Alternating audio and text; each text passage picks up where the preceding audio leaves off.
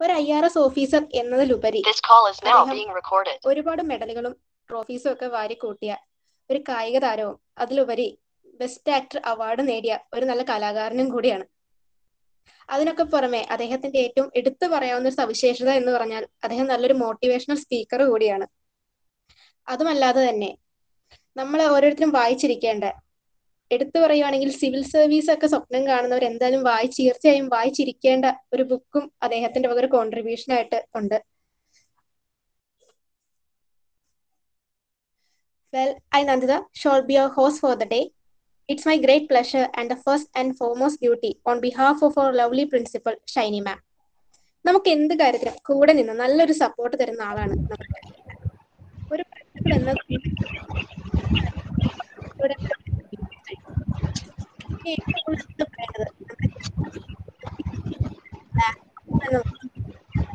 Faculty coordinators ആയ Manish sir,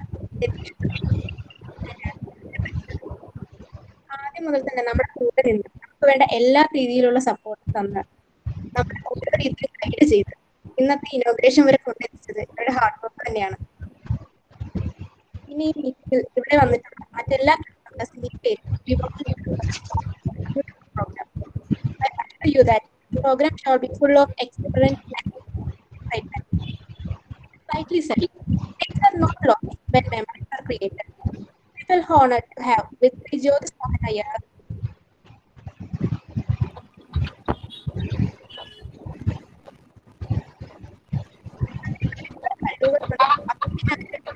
Nandita നന്ദിതയുടെ എനിക്ക് നെറ്റ്വർക്കിന് എന്തോ ചെറിയ ഇഷ്യൂ ഉണ്ടെന്ന് തോന്നുന്നു ക്ലിയർ ആവുന്നില്ല ഒന്ന് ക്ലിയർ ആക്കാൻ ശ്രമിക്കുക കേട്ടോ നന്ദിത കേൾക്കാമോ ആ ഇപ്പൊ ക്ലിയർ ആവുന്നുണ്ട്.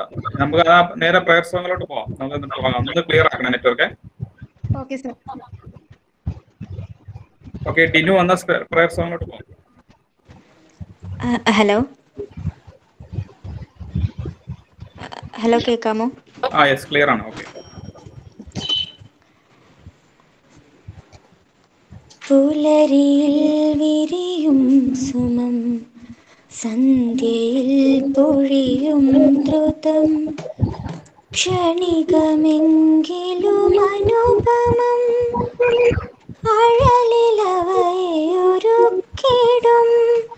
പരമജ്ഞാനമേ ദൈവമേ കൈവണങ്ങി നമിപ്പു ഞാൻ. ഉഷസുണർന്നു വിളിക്കയാൽ ഉണരു മനസ്സേ സാദരം കനലെരിഞ്ഞൊരു രാവൊരുങ്ങി കനിവു പോലിത പുതുദിനം ഇന്നലെ പുലരി മഞ്ഞല പോൽ ഉരുകി മറയും. ഉദയശോഭ ഉടയവൻ ചൊരിയും. ശുഭം പുലരിയിൽ വിരിയും സന്ധ്യയിൽ പൊഴിയും ദ്രുതം.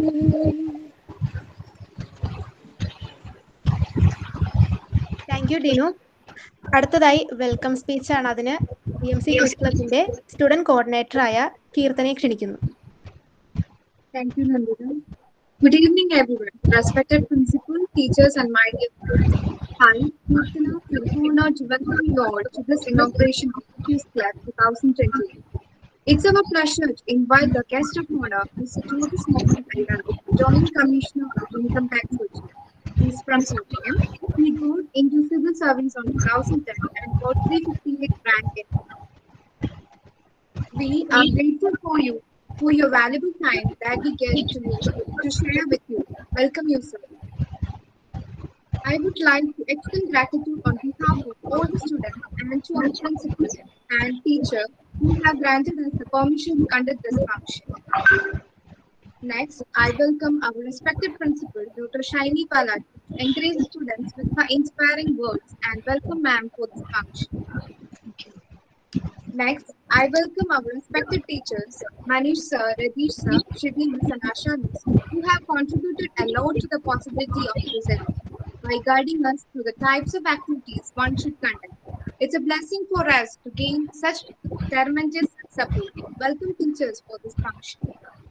Next, I welcome our student coordinators of Quiz Club, Tony, Sharath, and myself. They had contributed their maximum and motivated to give their best. Welcome, student coordinators. Last but not the least, students who have shown such a great zeal take part in this function. This function would not have been possible without any of your support. Welcome you all to this function. We have all given our best and we sincerely hope that you have a good time and enjoy the function. Thank you. Thank you Keerthana അടുത്തതായി നമ്മുടെ quiz ക്ലബിന്റെ ഇതുവരെയുള്ള പ്രവർത്തനങ്ങളെ കുറിച്ചും quiz ക്ലബിനെ കുറിച്ചും പറയാനായിട്ട് നേരത്തെ പറഞ്ഞ പോലെ തന്നെ Yes. ബാക്ക് ബോൺസ് ഒരാളായ ഫാക്കൽറ്റി കോർഡിനേറ്ററായ മനീഷ് സാറിനെ സാർ പറഞ്ഞോളൂ സാർ ജ്യോതി സാർ പറഞ്ഞോളൂ അല്ല ആരാണോ സംസാരിക്കുന്നത് മറ്റുള്ളവര് മൈക്ക് മ്യൂട്ട് ചെയ്താൽ okay okay sir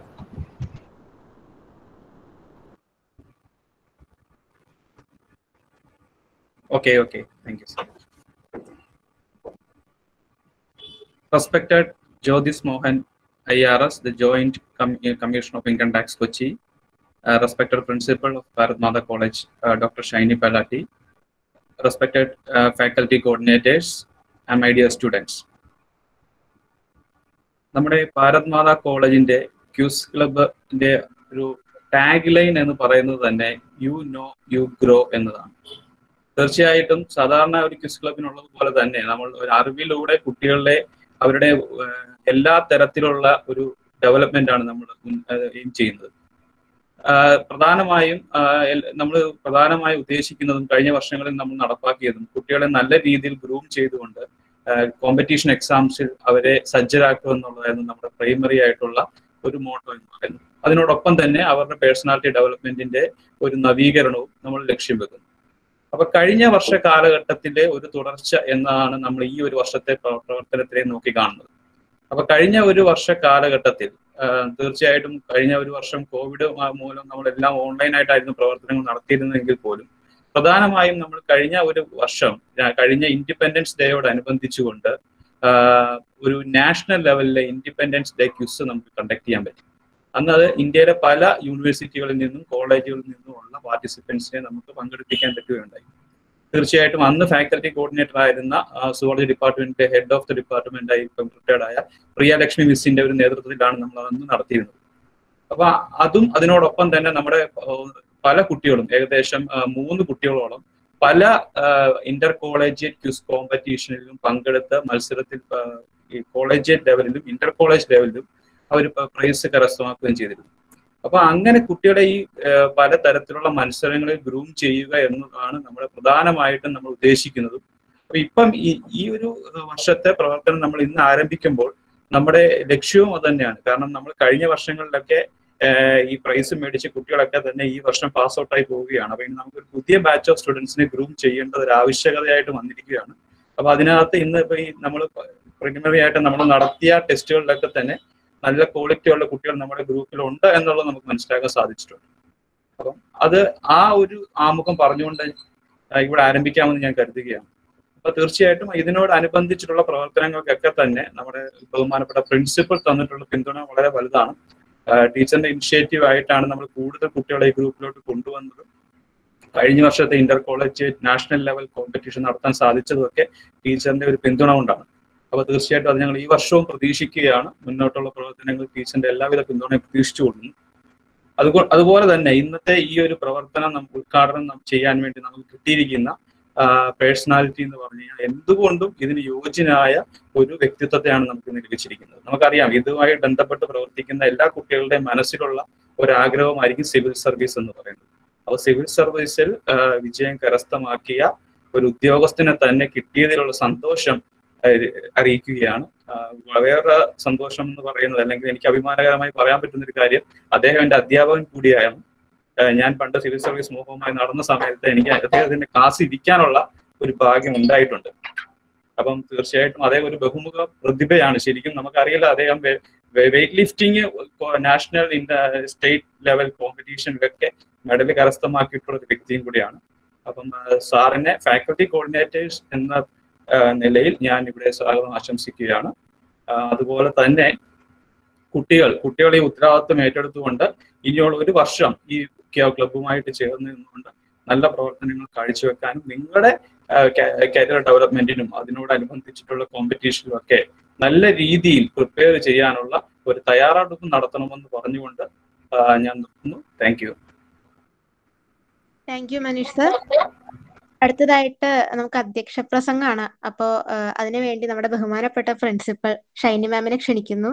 മാം മാമിനെ ക്ഷണിക്കുന്നതിന് മുമ്പ് നേരത്തെ പറഞ്ഞ പോലെ തന്നെ ഷൈനി മാം വെറൊരു പ്രിൻസിപ്പൾ ആയിട്ട് മാത്രമല്ല നമ്മുടെ കൂടെ നിൽക്കാറ് ഒരു ബെസ്റ്റ് ഫ്രണ്ട് കൂടി ആയിട്ടാണ് നമുക്ക് വേണ്ട രീതിയിലുള്ള എല്ലാ സപ്പോർട്ടും എല്ലാ ഗൈഡൻസും ഷൈനി മാമിന്റെ ഭാഗത്തു നിന്ന് നമുക്ക് ലഭിച്ചിട്ടുണ്ട്. പ്രത്യേകിച്ച് ക്വിസ് ക്ലബിന്റെ കാര്യത്തിലാണെങ്കിൽ മാം ഓരോ രീതിയിലും നമ്മളെ ശരിക്കും സപ്പോർട്ട് ചെയ്യുന്നുണ്ട് അതിപ്പോ മോട്ടിവേഷണൽ വീഡിയോസ് ആയിട്ടാണെങ്കിലും പോസ്റ്റുകളായിട്ടാണെങ്കിലും ഒക്കെ മാം നല്ല രീതിയിൽ തന്നെയാണ് നമ്മളെ സപ്പോർട്ട് ചെയ്യുന്നത് Shiny ma'am welcome Thank you, Nandita, for the nice words. So, good evening, all. Uh, respected guest of the day, Sri Mohan Mohan IRS, uh, respected faculty coordinators, doctor Manesh Michael miss Asha John doctor Shibi Thomas doctor Ratheesh dear student coordinators and my dear students. This evening I am very very happy to witness the inauguration of our quiz club quiz എന്ന് പറയുന്ന ആ ഒരു ഒരു വാക്കിന് അത് എവിടെ നിന്നുണ്ടായി എന്ന് നിങ്ങൾ ആരെങ്കിലും ചിന്തിച്ചിട്ടുണ്ടോ എന്ന് എനിക്കറിയില്ല. ആക്ച്വലി ക്വിസിനെ പറ്റി അല്ലെങ്കിൽ ആ ക്യു യു ഐ സെഡ് എന്ന് പറയുന്ന ആ വേർഡിന്റെ പിറകിൽ വളരെ മനോഹരമായ രസകരമായ ഒരു മിത്തുണ്ട് years back centuries back seventeen ninety വണ്ണിലാണ് ഈ ക്വിസ് എന്ന് പറയുന്ന ഒരു ഒരു വാക്ക് ഈ ഭൂമിയിലേക്ക് വന്നത്. അത് ഞാൻ വായിച്ച് മനസ്സിലാക്കിയിട്ടുള്ളത് അയർലൻഡിലാണ് അയർലൻഡിൽ നിന്നാണ് ഈ വാക്ക് വന്നത്. അയർലൻഡിന്റെ ക്യാപിറ്റലായ ഡബ്ലിനിൽ ഒരു റിച്ചാർഡ് ഡാലി എന്ന് പറയുന്ന ഒരു തിയേറ്റർ ഓണർ. അദ്ദേഹം ഒരു ബെറ്റ് വെച്ചു. ട്വന്റി ഫോർ അവേഴ്സിനുള്ളിൽ ഒരു പുതിയ വേർഡ് ഇംഗ്ലീഷിലേക്ക് കൊണ്ടുവരും എന്ന്. അപ്പൊ അദ്ദേഹത്തെ എല്ലാവരും കളിയാക്കി. എല്ലാവർക്കും അറിയാൻ സാധിക്കുന്ന എല്ലാവർക്കും പരിചയമായി തീരുന്ന ഒരു വേർഡ് കൊണ്ടുവരും. അത് അദ്ദേഹത്തിന്റെ ഒരു ബെറ്റായിരുന്നു ഉടനെ അദ്ദേഹം അവിടെയുള്ള സ്ട്രീറ്റ് ബോയ്സിനെ എല്ലാം വിളിച്ച് ഡബ്ലിൻ സിറ്റിയുടെ എല്ലാ ഭിത്തികളിലും മതിലുകളിലും എല്ലാം ക്യു യു ഐ സെഡ് എന്ന് എഴുതി വെക്കാൻ ആവശ്യപ്പെട്ടു. അവർ ആ രാത്രി കൊണ്ട് തന്നെ രാത്രി നേരം പുലർന്നപ്പോൾ മനുഷ്യർക്ക് കാണാവുന്ന എല്ലാ സ്ഥലങ്ങളിലും ക്യു യു ഐ സെഡ് അതൊരു അൺനോൺ വേർഡായിരുന്നു അല്ലെങ്കിൽ ഒരു മീനിങ്ലെസ് വേർഡായിരുന്നു എന്താണ് അതിന്റെ അർത്ഥം എന്ന് വാക്ക് എല്ലാവർക്കും പരിചയമായി. അതായിരുന്നു അദ്ദേഹത്തിന്റെ ബെറ്റ് എല്ലാവർക്കും പരിചയമായിരിക്കുന്ന ഒരു വാക്ക് ട്വന്റി ഫോർ അവേഴ്സ് കൊണ്ട് ഇൻട്രൊഡ്യൂസ് ചെയ്യും. വേർഡ് എല്ലാവർക്കും പരിചയമായി. അപ്പൊ എല്ലാവരും ഇതെന്താണ് ഈ വാക്കിന്റെ അർത്ഥം എന്ന് അന്വേഷിച്ചു തുടങ്ങി. എല്ലാവരും thought that it some sort of a test എല്ലാവരും ഭയങ്കര ഇൻക്യൂസിറ്റീവായി അങ്ങനെ ഇൻക്യൂസിറ്റ് എന്താണ് എന്ന് അന്വേഷിച്ച് അന്വേഷിച്ച് നടന്ന് സ്ലോലി ആ ക്യു യു ഐ സെഡ് എന്ന് പറയുന്ന വേർഡിന് ബീങ് ഇൻക്വിസിറ്റീവ് എന്ന മീനിങ് ഇവോൾവ് ചെയ്ത് വന്നു എന്നാണ് നമ്മൾ വായിച്ച് മനസ്സിലാക്കുന്നതിനെ പറ്റിയുള്ള ഒരു myth and I think this is the most important quality that you should have to be a good quizzer being inquisitive നമ്മുടെ ഈ ക്ലബിന്റെ ടാഗ് ലൈൻ തന്നെ യു നോ യു ഗ്രോ എന്നാണ്. എല്ലാ അർത്ഥത്തിലും നിങ്ങളെ വളർത്തും. നിങ്ങളുടെ അറിവ് വളർത്തും. I mean your spectrum of knowledge നിങ്ങളുടെ പേര് വളർത്തും. നിങ്ങളുടെ പ്രശസ്തി വളർത്തും. നിങ്ങളെ സാമ്പത്തികമായി വളർത്തും. കാരണം ഏറ്റവും നല്ല പ്രൈസ് തരുന്ന പ്രൈസ് ഉള്ള ഒരു കോമ്പറ്റീഷൻ ആയിട്ട് മാറിയിരിക്കുകയാണ് ക്വിസ്. അപ്പോൾ എല്ലാ അർത്ഥത്തിലും നിങ്ങൾ വളരട്ടെ. Let this club motivate you inspire you encourage you as well as reward you my dear children അപ്പൊ നമുക്ക് ഇന്നത്തെ ഈ ഒരു പ്രോഗ്രാമിൽ നമുക്ക് ഗസ്റ്റായിട്ട് എത്തിയിരിക്കുന്ന Shri Jyotis Mohan I R S. തീർച്ചയായിട്ടും അദ്ദേഹത്തെ പറ്റി നമ്മളിവിടെ കേട്ടു. അദ്ദേഹത്തെ പറ്റിയുള്ള ഒരു ഇൻട്രൊഡക്ഷൻ നമ്മൾ കേട്ടു. ഇനി നമ്മൾ അദ്ദേഹത്തെ കേൾക്കാൻ കാത്തിരിക്കുകയാണ്. അദ്ദേഹത്തിന്റെ ഓരോ വാക്കുകളും ഐ ആർ എസ് അല്ലെങ്കിൽ സിവിൽ സർവീസ് എന്ന് പറയുന്ന വളരെ അറിവ് വേണം എന്ന് നമ്മൾ എല്ലാവരും ഉറച്ചു വിശ്വസിക്കുന്ന ആ ഒരു ഒരു ഒരു സബ്ജക്ട് നോളജിൽ മാത്രമല്ല അദ്ദേഹത്തിന്റെ കഴിവുകൾ എന്ന് നമ്മളിവിടെ കേട്ടു. ഒരു ബഹുമുഖ പ്രതിഭ. അദ്ദേഹത്തിന്റെ ഓരോ വാക്കുകളും നിങ്ങളെ മോട്ടിവേറ്റ് ചെയ്യട്ടെ. ശ്രദ്ധയോടുകൂടി അദ്ദേഹത്തെ കേൾക്കുക. Jyoti sir I I acknowledge the love and respect of Bharat Mata college for you and I really thank the faculty coordinators for taking this extra effort നമ്മുടെ സിലബസിൽ പറഞ്ഞിരിക്കുന്ന കാര്യമല്ല ഇങ്ങനെ ഒരു ക്ലബ് ഉണ്ടാക്കണം. ആ ക്ലബിലെ കുട്ടികളെ വളർത്തണം എന്നൊക്കെ. അപ്പൊ നിങ്ങൾ എടുക്കുന്ന ഈ എക്സ്ട്രാ എഫേർട്ടിന് പ്രിൻസിപ്പൽ എന്നുള്ള നിലയ്ക്ക് ഞാൻ നന്ദി പറയുന്നു. And I I I tell all my students, the members of this club, to make this ma- make use of this opportunity. So I wish all the very best for this year's activities. Thank you. Thank you Shiny ma'am for your valuable words അടുത്തതായിട്ട് നമുക്ക് നമ്മുടെ chief ഗസ്റ്റിനെ invite ചെയ്യാം അതിനു മുമ്പ് അദ്ദേഹത്തെ കുറിച്ച് കുറച്ച് കാര്യങ്ങൾ നമ്മൾ സ്റ്റാർട്ടിങ്ങിലെ പറഞ്ഞിരുന്നു അത് കൂടാതെ കുറച്ച് കാര്യങ്ങളും കൂടെ നിങ്ങളായിട്ട് ഷെയർ ചെയ്യാനായിട്ട് ഞാൻ വിചാരിക്കുകയാണ് ഫസ്റ്റ് ഓഫ് ഓൾ അദ്ദേഹത്തിന്റെ സ്കൂളിംഗ് എന്നൊക്കെ പറയുമ്പോൾ Jawahar Navodaya Vidyalaya കോട്ടയത്തായിരുന്നു and he done his graduation in B com at saint Thomas college Pala and he done his post graduation in business law at Nas- Nalsar University, Hyderabad. And he cleared civil service examination in 2010 and secured 358 rank. And he was specially interested in public speaking, social interaction, and agricultural activities. And he was awarded gold medal in state level weightlifting in 2003 uh, and silver medal in national powerlifting in 2004 and uh, he also awarded best actor award during civil service foundation course in 2010 sir welcome.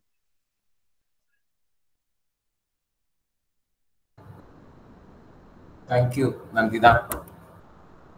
Most respected Principal Shaini Faculty Coordinator Manesh Michael, uh, dear friends Kirtana, Mantida, and all other friends who are here, around 23 people are here. So, good evening to all.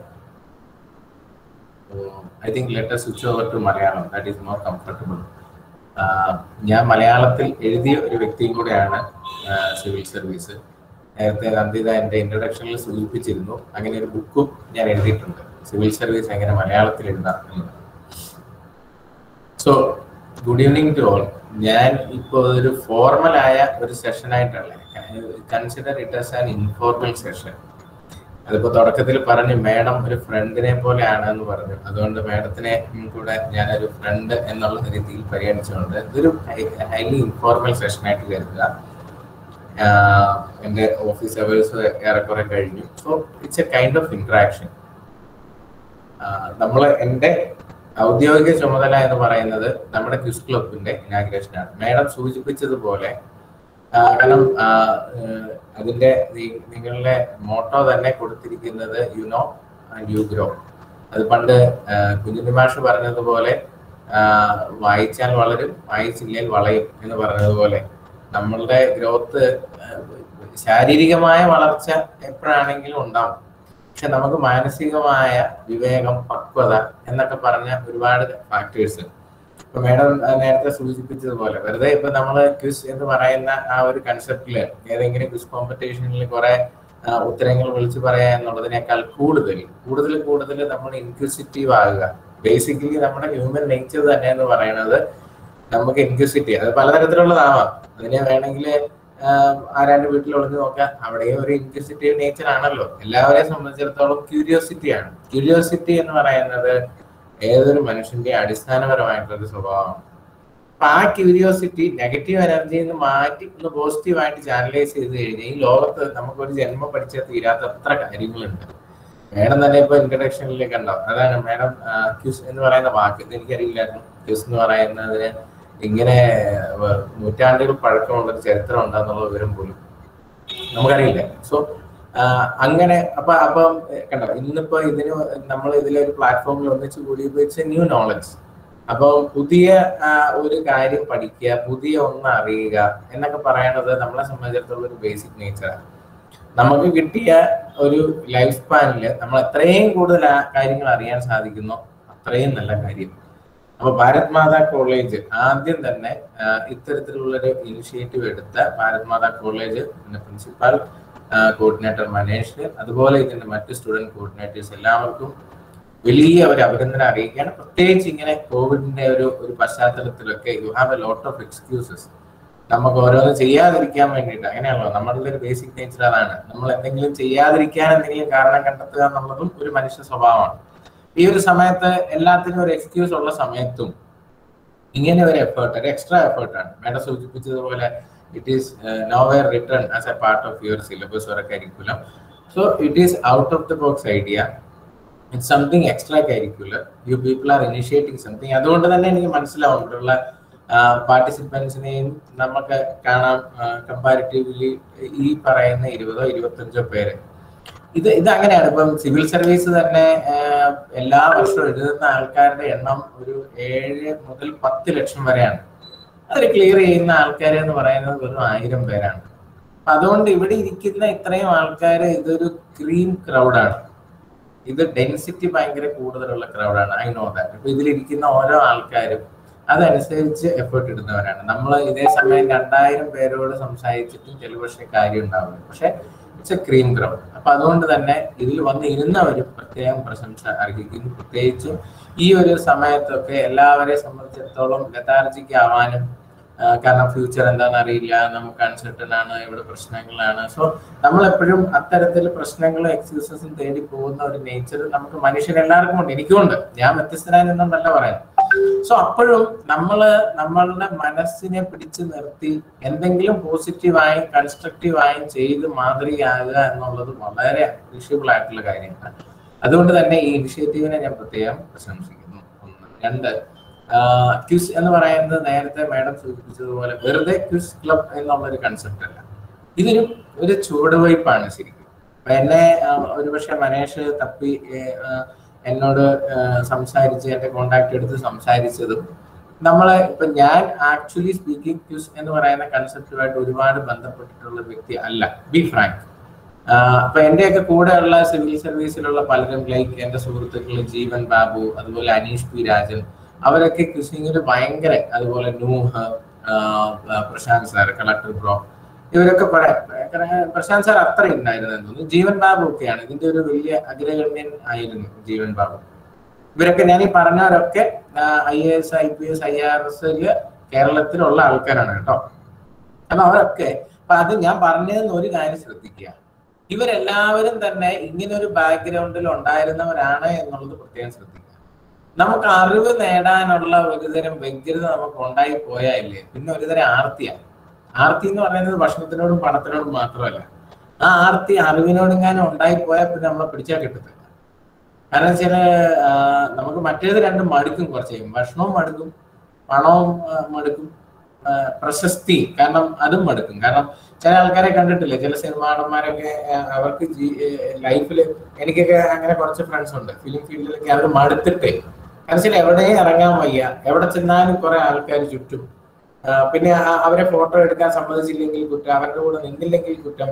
ചിലപ്പോൾ അവർക്ക് തലവേദന എടുത്തോ അല്ലെങ്കിൽ വീട്ടിലൊരു പ്രശ്നം ഉണ്ടായിട്ടോ ഒക്കെ ആയിരിക്കും അവർ പുറത്തിറങ്ങിയിട്ടുണ്ടാവുക. അപ്പോഴും അവർ ചിരിച്ച് എല്ലാവരുടെ മുമ്പിൽ പ്രസന്റബിൾ ആവണോ എന്ന് പറയുന്നത് എന്തൊരു മോശമാണെന്ന് ആലോചിച്ച് വയ്ക്കുക നമ്മൾ നോക്കുമ്പോൾ അയ്യോ അവർക്ക് ജാടയാണ് അവർ നമ്മൾ ചോദിച്ചപ്പോൾ സമ്മതിച്ചില്ല. അപ്പൊ അവർക്കൊക്കെ പ്രശ്നമുണ്ട്. പക്ഷെ ഈ അറിവിന്റെ ഒരു എക്സ്ട്രീമിലേക്ക് പോകാൻ അതിന് ലിമിറ്റ് ഇല്ല. നമ്മൾ പുതിയ പുതിയ പുതിയ ഒരുപാട് കാര്യങ്ങൾ അറിയാണ്. ഇപ്പൊ നമ്മൾ തന്നെ ഈ ഇരിക്കുന്ന പത്തിരുപത് പേര് നമ്മൾ ഇരുപത് ഈ ഇപ്പൊ ഒരു ഇരുപത്തൊന്ന് പേരാണ് പ്രസന്റ് ആയിട്ട് കാണുന്നത്. ആ ഇരുപത്തൊന്ന് പേർക്കും ഇരുപത്തൊന്ന് നോളജാണ് ഇരുപത്തൊന്ന് തരത്തിലുള്ള ഇരുപത്തൊന്ന് നോളജ് എന്ന് പറഞ്ഞാൽ ഇരുപത്തൊന്ന് ഡിഫറെന്റ് നമ്മളുടെ ഐ ടി ഭാഷയിൽ പറഞ്ഞ ഇരുപത്തൊന്ന് ഡിഫറെന്റ് വലിയ ഹാർഡ് ഡിസ്കുകളാണ് അല്ലെങ്കിൽ വലിയ സെർവറുകളാണ് അതിന്റെ അകത്ത് സംഭരിക്കാൻ പറ്റുന്ന നോളജിന്റെ അളവ് ഇല്ല. അപ്പൊ അത്രയും ഇതിന്റെ അകത്ത് നമ്മളിങ്ങനെ ക്ലബുകൾ പോലെയുള്ള ഫോർമേഷന്റെ ഒരു ഗുണം. നമ്മൾ അന്യോന്യം വരികയും ഷെയർ ചെയ്യുകയും എക്സ്പീരിയൻസസ് അങ്ങോട്ടും ഇങ്ങോട്ടും ഷെയർ ചെയ്യുകയൊക്കെ ചെയ്യുമ്പോൾ നമ്മൾ ഓരോരുത്തരും പുതിയ പുതിയ തലത്തിലേക്ക് വളരും. ഞാൻ ഇതിനു മുമ്പ് കുറെ പേരുടെ പേര് ഉദാഹരിച്ചത് എല്ലാ സിവിൽ സർവീസിലുള്ള ആൾക്കാരാണ്. സിവിൽ സർവീസ് മാത്രമല്ല ഈ അറിവ് എന്ന് പറയുന്ന സാധനം നമുക്ക് ഏത് മേഖലയിൽ ചെന്നാലും ഗുണപ്പെടും എന്നുള്ളതാണ്. ഞാൻ ഒരിക്കലും സിവിൽ സർവീസ് മാത്രമായിട്ട് ഞാൻ ഇതിൽ പറയില്ല. മാഡം നേരത്തെ സൂചിപ്പിച്ചതുപോലെ ഒരു ഓവറോൾ ഡെവലപ്മെന്റ് ആണ്. കൂടുതൽ വായിക്കുന്നതോടുകൂടിയും കൂടുതൽ അറിയുന്നതോടുകൂടിയും അത് കൂടുതൽ കൂടുതൽ ഷെയർ ചെയ്യപ്പെടുന്നതിലൂടെയും നമുക്ക് ക്യാരക്ടർ ഫോർമേഷൻ പേഴ്സണാലിറ്റി ഡെവലപ്മെന്റ് എന്ന് പറയുന്ന ഒരു സാധനം. അത് ഒരു ടോക്ക് കേട്ടോണ്ടോ പേഴ്സണാലിറ്റി ഡെവലപ്മെന്റ് ക്ലാസ്സസ് അറ്റൻഡ് ചെയ്തുകൊണ്ടൊന്നും ഉണ്ടാവുന്നതല്ല. നമ്മൾ പുതിയ പുതിയ കാര്യങ്ങൾ അറിയുകയും അത് പലരോടൊപ്പം ഇരുന്ന് ഷെയർ ചെയ്യും നമ്മളൊപ്പം ഇരിക്കുമ്പോഴായിരിക്കും ഇപ്പൊ ഇന്ന് മാഡം പറഞ്ഞൊരു കാര്യം എനിക്ക് അറിയില്ല അപ്പൊ നമ്മൾ അറിയില്ല എന്നുള്ളത് അംഗീകരിക്കും മനുഷ്യനെ സംബന്ധിച്ചിടത്തോളം ഏറ്റവും വലിയൊരു ഫാക്ടറാണ് നമുക്കൊരു കാര്യം അറിയില്ല എന്ന് അംഗീകരിക്കുന്ന അത്ര എളുപ്പമുള്ള കാര്യമില്ല.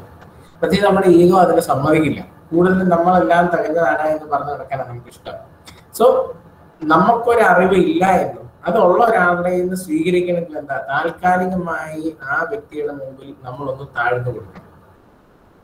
ആ താഴ്മ എന്ന് പറയുന്നതാണ് നമ്മുടെ ഗ്രോത്തിന്റെ ബേസ് എന്ന് പറയുന്നത്. അപ്പൊ താൽക്കാലികമായി എനിക്കതിനെ അറിയില്ല. അത് അറിയണമെങ്കിൽ ഒന്നെങ്കിൽ വായിക്കണം. അല്ലെങ്കിൽ അറിയാവുന്ന ഒരു വ്യക്തിയുടെ മുമ്പിൽ താൽക്കാലികമായി ക്ഷമയോടുകൂടി അത് കേട്ടിരിക്കാനുള്ള ഒരു ക്ഷമയുണ്ടാവും ഇതൊക്കെ പേഴ്സണാലിറ്റി ഡെവലപ്മെന്റിന്റെ ഭാഗമാണ്. ക്യൂസിംഗ് എന്ന് പറയുന്നത് അതുപോലെ തന്നെ നമ്മൾ ഒരുപാട് കാരണം ക്യൂസിന്റെ ഒരു പ്രത്യേകത നമ്മൾ അൺഎക്സ്പെക്ടഡ് ആയി. ഇപ്പൊ നമ്മൾ നമ്മളുടെ പരീക്ഷകളുടെ പ്രത്യേകത എന്താണ്? There a given syllabus there a given curriculum so last year question papers plus the syllabus give ninety five percentage of the exam pattern നമുക്ക് ക്യൂസിംഗ് എന്ന് പറയുന്ന കൺസെപ്റ്റിൽ നമുക്കറിയില്ല എന്ത് എവിടെ നിന്ന് എപ്പോ വേണമെങ്കിലും ശരങ്ങൾ പോലെ ചെയ്യാവുന്ന ഒരു അതിനൊക്കെ ഉത്തരം പറയാൻ റെഡിയായി നിൽക്കുന്ന ഒരു യോദ്ധാവിന്റെ മനസ്ഥിതിയാണ് ഒരു ഒരു ക്വിസർ അതായത് ഒരു ക്വിസ് മാസ്റ്റർ ചോദിക്കുന്നത് എന്തിനേയും നേരിടാൻ തയ്യാറായിരിക്കുന്ന ടീംസ് ആണെങ്കിൽ ടീം വർക്ക് ഇപ്പൊ ഞാനും ഈ കൂട്ടത്തിലുള്ള ഒരാളാണ് ഇപ്പൊ ഞാനും നന്ദിത ഒരു ടീമാണെങ്കിൽ നമ്മൾ രണ്ടുപേരും കൂടെ ചേർന്ന് അതിലാണ് എടുക്കുന്ന എഫേർട്ട് അല്ലെങ്കിൽ ഒരു ഒരു ഒരു ഒരു ചോദ്യത്തിന്റെ ഉത്തരത്തിലേക്ക് നമ്മൾ എങ്ങനെ നമ്മൾ മാർജിനലൈസ് ചെയ്ത് എത്തുന്നു?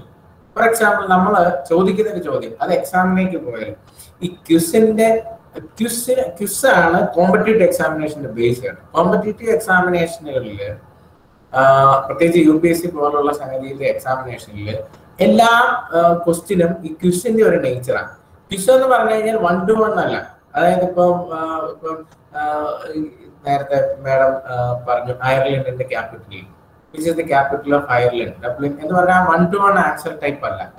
മൾട്ടിപ്പിൾ ചോയ്സ് ഉള്ള നമ്മൾ അതിൽ നിന്ന് ഇങ്ങനെ ചിസിൽ ചെയ്ത് ഓരോ അറിവിനെ ഇങ്ങനെ എടുത്തെടുത്ത് ആൻസറിലേക്ക് എത്തുന്ന പാറ്റേൺ ഫിസിക്കലും പ്രത്യേകിച്ച് അതാണ്. നമുക്ക് ഉള്ളിൽ ഉണ്ട്. വായിക്കുക നമ്മൾ ഏതെങ്കിലും വായനയിൽ നിന്ന് ഡയറക്റ്റ് ആൻസറിലേക്ക് നമ്മൾ എത്തില്ല. നമ്മളുടെ സ്കൂൾ ലെവലിലോ കോളേജ് ലെവലിലോ നമ്മൾ ഫേസ് ചെയ്ത എക്സാം പോലെയല്ല ക്വസ്റ്റിംഗ് കോമ്പറ്റേറ്റീവ് എക്സാമിനേഷൻ ഒക്കെ. അത് നമ്മളുടെ വളരെ വൈഡ് ആയിട്ടുള്ള ഡെപ്ത് ആയിട്ടുള്ള വായനയും അറിവിനെയും വെച്ചുകൊണ്ട് നമ്മൾ ഒരു ചോദ്യത്തിലേക്ക് പോകുമ്പോൾ ആ ചോദ്യത്തിന്റെ ഉത്തരത്തിലേക്ക് നമ്മളിങ്ങനെ നടന്നെടുക്കുകയാണ് ശരിക്കും വൺ ടു വൺ കറക്റ്റ് ആയിട്ട് ഉണ്ടാവില്ല. ഇപ്പൊ നമുക്ക് for example Amazon forest Amazon ഫോറസ്റ്റിലുള്ള ഏതെങ്കിലും ഒരു ഫോർ എക്സാമ്പിൾ ജോഗ്രഫിയിലെ ഏതെങ്കിലും ഒരു പർട്ടിക്കുലർ ട്രീ ആ ട്രീ ഏത് രാജ്യത്താണ് കാണപ്പെടുക? അല്ലെങ്കിൽ ആ ഏരിയ ഫ്ലോറ ഫോണ റിലേറ്റഡ് എന്തെങ്കിലും ഒരു പ്രത്യേക ജീവി അത് ഏത് ഏരിയയിലാണ് കാണപ്പെടുക? സോ ജോഗ്രഫി പഠിച്ച ഒരാൾക്ക് അറിയാം. ഈ പർട്ടിക്കുലർ ട്രീ അല്ലെങ്കിൽ ഈ പർട്ടിക്കുലർ ജന്തു ഇന്ന വെജിറ്റേഷൻ പാറ്റേണിലുള്ള ഏരിയയിലാണ്. അപ്പം ഫോർ എക്സാമ്പിൾ ആമസോണിന് ഞാൻ പറയാൻ കാര്യം റെയിൻ ഫോറസ്റ്റുകൾ ഇക്വേറ്ററിന്റെ ഫൈവ് ഡിഗ്രി നോർത്തിൽ ഫൈവ് ഡിഗ്രി സൗത്തിൽ ലാറ്റിറ്റ്യൂഡുകളിലാണ് കിടക്കുന്നത്. അപ്പോൾ മൊത്തത്തിലുള്ള ആ ഭൂപടം നമ്മുടെ മനസ്സിൽ വന്നിട്ട് ഇക്വേറ്ററിന്റെ ഇമ്മീഡിയറ്റ് റീജിയനിൽ ആക്ടിവിറ്റിയുള്ള രാജ്യങ്ങൾ ഏതൊക്കെയാണ്? ഇത് മുഴുവൻ നമ്മൾ വായിക്കുകയും അല്ലെങ്കിൽ ചെറിയ ക്ലാസ്സുകൾ പഠിക്കുകയും ഭൂപടം കണ്ടും അറ്റ്ലസ് കണ്ടും ഗ്ലോബ് കണ്ടും ഒക്കെ നമ്മൾ പഠിച്ച സാധനങ്ങൾ മുഴുവൻ ആ സമയത്ത് നമ്മുടെ തലയുടെ ഉള്ളിൽ വരികയാണ്. എന്നിട്ട് നമ്മൾ ഇങ്ങനെ അതിനെ അതിന്റെ ഉത്തരത്തിലേക്ക് നമ്മൾ പതുക്കെ പതുക്കെ പതുക്കെ സ്റ്റെപ്പ് ബൈ സ്റ്റെപ്പ് എത്തുകയാണ്. ഇത് നമ്മളുടെ വലിയ ഒരു നോളജിന്റെ ഒരു ഇതിൽ നിന്ന് നമ്മൾ മാർജിനലൈസ് ചെയ്ത് നമ്മൾ ആ ഉത്തരത്തിലേക്ക് എത്തുകയാണ്. ഈ ഒരു പാറ്റേൺ ആണ്. അതുകൊണ്ടാണ് ഞാൻ പറഞ്ഞത് ക്വിസ് എന്ന് പറയുന്ന കൺസെപ്റ്റ് കോമ്പറ്റേറ്റീവ് എക്സാമിനേഷനുകളുടെ ബേസ് ആണ്. ഇവിടെ ഇരിക്കുന്നവർക്ക് തോന്നുന്നുണ്ടാവും ക്വിസിംഗ് അല്ലെങ്കിൽ ക്വിസ് ക്ലബ്ബ് എന്ന് പറയുന്ന കൺസെപ്റ്റിനെ കുറിച്ച് പറയാതെ ഞാൻ എന്തുകൊണ്ട് കോമ്പറ്റേറ്റീവ് ചെയ്യുന്നത്? കാരണം വെച്ചാൽ ഇതെല്ലാം നമ്മുടെ ഫ്യൂച്ചറുമായിട്ട് റിലേറ്റഡ് ആണ്. ഞാൻ കരിയറും ഫ്യൂച്ചറും അങ്ങനെ ബിസിനസ് മെന്റാലിറ്റിയോട് കൂടി ഇതിനെ കാരണം ഇതൊരു മൊറോർലെസ് ഇതൊരു കൈൻഡ് ഓഫ് ക്വിസിനെ ആ രീതിയിൽ അപ്രോച്ച് ചെയ്യുന്നവരുണ്ട്. ക്രിക്കറ്റോ ഫുട്ബോളോ പോലെ ഒരു ഗെയിം പോലെ അപ്രോച്ച് ചെയ്യുന്നവരുണ്ട്. അതിലൊക്കെ എത്രയോ വിശിഷ്ടമാണ് ഇതെന്നുള്ളതാണ്. നമ്മൾ എന്തോ ഒരു കാര്യം ചെയ്യുമ്പോഴും അതിനൊരു മൾട്ടി ലെവൽ മൾട്ടി ഡയമെൻഷൻ ഉണ്ടെങ്കിൽ എത്രയോ നല്ലതാണ്. ക്വിസ് എന്ന് പറയുന്നത് സെയിം ടൈം നമ്മൾക്ക് ഒരു ഗെയിം ഒരു പാറ്റേൺ നമുക്ക് എന്താണെന്ന് ചോദിച്ചു കഴിഞ്ഞാൽ വായനയും പഠനവും പൊതുവെ വിരസമാണ്. അത് നമുക്ക് എല്ലാവർക്കും അറിയാം. അത്ര ഇൻട്രസ്റ്റിംഗ് ആയിട്ടുള്ള സംഭവം ഒന്നും എപ്പോഴും ആയിക്കൊള്ളണമെന്നില്ല. ചിലപ്പോൾ നമുക്ക് ഇഷ്ടമുള്ള ഒന്നോ രണ്ടോ സബ്ജക്റ്റിൽ നമുക്ക് കൂടുതൽ വായിക്കുക അറിയാൻ ചെയ്യുന്നത് നമുക്ക് വളരെ ഇൻട്രസ്റ്റിംഗ് ആയിരിക്കാം. പക്ഷെ എല്ലാം നമുക്ക് ഇഷ്ടമുള്ള സബ്ജക്റ്റ് അല്ലാത്തത് വായനയും അല്ലെങ്കിൽ ഏതോ ഒരു ഫീൽഡിൽ പോയിട്ടുള്ള വായനയും നമുക്ക് ഇൻട്രസ്റ്റിംഗ് ആയിക്കൊള്ളണം എന്ന് പറഞ്ഞാൽ എളുപ്പമില്ല പക്ഷേ ക്വിസ് പോലുള്ള ഒരു സംഗതി നമുക്ക് തരുന്ന ഒരു ഗുണം എന്ന് പറയുന്നത് ഇത് തരുന്ന ഒരു പിയർ പ്രഷർ നമ്മൾ ചിലപ്പോൾ ഞാൻ നേരത്തെ പറഞ്ഞ ഒരു ടീം വർക്കിൽ നമ്മൾ വായിച്ചിട്ട് പോകണം നമ്മൾ പ്രിപ്പയർഡ് ആയിട്ട് പോകണം so actually we are force to do that മനുഷ്യന്റെ ബേസിക് ആയിട്ടുള്ള നേച്ചർ എന്ന് പറയുന്നത് നമ്മളെല്ലാം ഫോഴ്സ്ഡ് ആയിട്ട് തന്നെയാണ് ചെയ്യുന്നത്. ആ അത് അത് അത് നമുക്ക് ലൈഫിൽ ഒരു ഒരു ഒരു ഫോഴ്സ്ഡ് ആണെന്നുള്ള തോന്നൽ ഒഴിവാക്കി എടുക്കാൻ പറ്റി നമ്മൾ വിജയിച്ചു.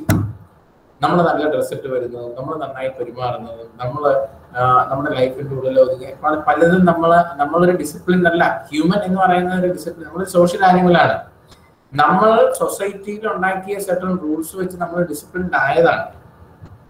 എന്ന് പറഞ്ഞ പോലെ തന്നെയാണ് ഇവിടെ. നമ്മൾ നമ്മളെ ഒന്ന് ഷേപ്പ് ചെയ്തെടുക്കാൻ കിസ് നമുക്കൊരു ഒരു ഒരു ഇത് തരുന്നു. ആ ഒരു പിയർ പ്രഷർ തരുന്നു. ഒരു കോമ്പറ്റീഷൻ സ്പിരിറ്റ് തരുന്നു. അതിൽ നമ്മൾ പോയിട്ട് പലതും വായിക്കണം അങ്ങനെ നമ്മൾ ഒരു പക്ഷേ നമ്മൾ പോലും അറിയാതെ ചില ഏരിയാസിൽ നമ്മൾ ഇൻട്രസ്റ്റ് കണ്ടെത്തും. നമ്മൾ അതിൽ കൂടുതൽ കൂടുതൽ വായിക്കും അതോടുകൂടി നമ്മുടെ ഡെപ്ത് വർദ്ധിക്കും. നമ്മളുടെ ഒരു പൊട്ടൻഷ്യൽ വർദ്ധിക്കും. നമ്മൾ പ്രതീക്ഷിക്കാത്ത തലങ്ങളിലേക്ക് നമ്മൾ ഉയർത്തപ്പെടും. അപ്പം ഇത് ഞാൻ അതുകൊണ്ടാണ് ഞാൻ ഇൻഡയറക്റ്റ് ആയിട്ട് സിവിൽ സർവീസിലും മറ്റുമുള്ള പലരുടെയും പേര് ഞാൻ പറഞ്ഞത് അവരൊക്കെ നല്ല ക്രിസ്ത്യൻ ഈ ക്വിസുമായിട്ട് ബന്ധപ്പെട്ട് വളരെ ഇൻട്രസ്റ്റിംഗ് ആയി ഇതുമായിട്ട് ബന്ധപ്പെട്ട് നിന്ന ആൾക്കാരായിരുന്നു എന്ന് ഞാൻ സൂചിപ്പിച്ചു. അപ്പൊ ഞാൻ ഒരിക്കലും പറയുന്ന സിവിൽ സർവൻസ് മാന്മാരാണെന്നൊന്നും അല്ല എല്ലാത്തിനും അപ്പോൾ അതുപോലെ തന്നെ നിങ്ങൾ പൊളിറ്റീഷ്യൻസിനെയും പലരും നോക്കിക്കഴിഞ്ഞാൽ അവിടെയും ഉണ്ടെങ്കിൽ. എല്ലാവരും ഞാൻ പറയുന്നത് ജനറലൈസ് ചെയ്ത് പറയുന്നില്ല എങ്കിലും അതിലും എനിക്കറിയാവുന്ന ഒരുപാട് ആൾക്കാരുണ്ട് ഇതുമായിട്ടൊക്കെ ബന്ധപ്പെട്ട് ഇത് തരുന്ന അറിവ് അതോടൊപ്പം തന്നെ തരുന്ന എക്സ്പോഷർ അതായത് നമുക്ക് ഒരു വ്യക്തിത്വ വികസനത്തിന് ഭയങ്കരമായിട്ട് ഹെൽപ്പ് ചെയ്യുന്ന ഒന്നാണ്. ഒരു ടീം വർക്കിൽ നമ്മൾ വായിച്ചത് ഓരോന്ന് നമ്മൾ ഇങ്ങനെ അന്യോന്യം ഷെയർ ചെയ്ത് ആൻസറിലേക്ക് എത്തുന്നതും. നമ്മൾ അത് അത് അത് നമുക്ക് തരുന്ന ഒരു ബ്രെയിൻ ഡെവലപ്മെന്റ് നമ്മുടെ ക്യാരക്ടർ ഡെവലപ്മെന്റ് ഒക്കെ വളരെ ഇമ്പോർട്ടന്റ് ആണ്. അപ്പൊ അതുകൊണ്ട് ഇതൊക്കെ ആയിട്ട് വളരെ ബന്ധപ്പെട്ട് നിൽക്കുക. പിന്നെ സിവിൽ സർവീസ് പോലുള്ള കോമ്പറ്റേറ്റീവ് എക്സാമിനേഷനുകളെ അപ്രോച്ച് ചെയ്യാൻ നിങ്ങൾക്ക് അങ്ങനെ ഒരു ചാനൽ തരും. അതാണ് എനിക്ക് ഏറ്റവും ഇമ്പോർട്ടന്റ് ആയിട്ട് തോന്നിയ ഒരു കാര്യം. നമുക്ക് അങ്ങനെ ഒരു ചാനൽ നമുക്ക് ഉണ്ടാക്കി തരും. നമ്മളുടെ കോളേജുകളിലൊക്കെ. ഇപ്പൊ എന്തുകൊണ്ടാണ് എല്ലാവരും ഡൽഹിക്ക് പോകുന്നത് ഇപ്പൊ സിവിൽ സർവീസ് പോലുള്ള പരീക്ഷകളെ അപ്രോച്ച് ചെയ്യുമ്പോഴോ അല്ലെങ്കിൽ നല്ല കോഴ്സുകളെ കുറിച്ച് ചിന്തിക്കുമ്പോഴോ ഒന്നെങ്കിൽ അറ്റ്ലീസ്റ്റ് യു ലീവ് കേരള എന്നാണ് പറയുന്നത്.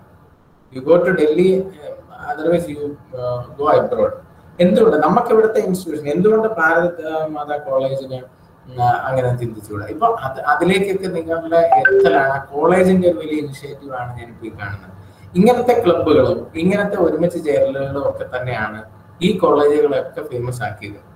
എന്തുകൊണ്ടാണ് ഡൽഹിയിലുള്ള കോളേജുകൾ ഐ ഐ ടികളും ഐ ഐ എമ്മുകളും അല്ലെങ്കിൽ അവിടെ ലേഡി ശ്രീറാം കോളേജോ അല്ലെങ്കിൽ ബിറ്റ്സ് പിലാനിയോ അല്ലെങ്കിൽ ഇതുപോലെ മുതിർന്ന ഡൽഹി ബാംഗ്ലൂർ എവിടെ ആയിക്കോട്ടെ ഏതെങ്കിലും ചില ഇൻസ്റ്റിറ്റ്യൂഷൻ എവിടുന്ന് ഇപ്പൊ പ്രധാനപ്പെട്ട പൊസിഷനിൽ ഇരിക്കുന്ന ആരെ കുറിച്ച് ചോദിച്ചാലും okay I am from S P Jain I am from BITS Pilani I am from Lady Shriram I am from I I T I am from I M എന്താണ് ഇത്ര വ്യത്യാസം? അതിന് പ്രധാനപ്പെട്ട അവിടെ ഒന്നും കൊടുക്കുന്ന കരിക്കുലം വ്യത്യാസമല്ല ഇൻഫ്രാസ്ട്രക്ചർ വ്യത്യാസമല്ല ഇപ്പൊ മേശ ഡെസ്കോ എഴുതുന്ന പേനയ്ക്ക് വല്ല വ്യത്യാസമുണ്ടോ? ഒന്നുമില്ല. ലൈബ്രറിക്ക് വ്യത്യാസമുണ്ടോ? ഇല്ല. സൗകര്യങ്ങൾ കൂടുതൽ എവിടെയാണെന്ന് വെച്ചാൽ നമുക്ക് ഇവിടെയാണ് കൂടുതൽ. കാരണം അവിടെ ഭയങ്കര ബുദ്ധിമുട്ടാണ്. കാരണം നമുക്ക് നാട് വിട്ട് നിൽക്കുമ്പോൾ നിൽക്കുമ്പോഴാണ് ബുദ്ധിമുട്ടുകൾ ഇതൊക്കെ അതൊക്കെ. നമുക്ക് സൗകര്യം കൂടിപ്പോയിട്ടുള്ള പ്രശ്നമാണ്. അപ്പോൾ നമുക്കിവിടെ എന്താണ് പ്രശ്നം? നമുക്ക് ഇത്തരത്തിലുള്ള ഇനിഷ്യേറ്റീവുകൾ ഇല്ലാത്തതാണ് പ്രശ്നം. നമ്മൾ ആ ഒരു ഇതിൽ മാത്രം കരിക്കുലത്തിൽ മാത്രം നിന്ന് അതിന്റെ എക്സാം എഴുതി ബാക്കി സമയം ഇങ്ങനെ എന്തെങ്കിലും കാണിച്ചൊക്കെ പോവാണ്.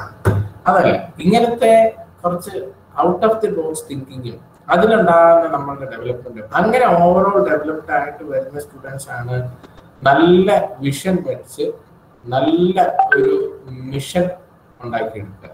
ആ വിഷൻ അവിടെ ഉണ്ടാവണം. അത് കണ്ട് നമ്മളൊരു മിഷൻ ഫോം ചെയ്യണം. എന്നിട്ട് നമ്മൾ ആ മിഷൻ ടുവേർഡ്സ് ദാറ്റ് വിഷൻ അതാണ് നമുക്ക് വേണ്ടത്. അപ്പൊ നമ്മളെ ഈ കോളേജിന്റെ ഇത്തരത്തിലുള്ള ഇനിഷ്യേറ്റീവ് ഡൽഹിയിലോ അല്ലെങ്കിൽ ബാംഗ്ലൂരോ ഒക്കെ പേര് കേട്ട ബോംബെയിലോ ഒക്കെ പേര് കേട്ട പല വലിയ വലിയ ഇൻസ്റ്റിറ്റ്യൂഷന്റെ തലത്തിലേക്ക് നിങ്ങളെ ഉയർത്തും. അവിടെ പോയാലേ ഇത് തീരുള്ളൂ. ഞാൻ അവരെ കഴിഞ്ഞ് എന്തെങ്കിലും ഇൻഫീരിയർ ആണെന്നൊരു തോന്നലുണ്ടെങ്കിൽ അത് അവസാനിപ്പിക്കുക.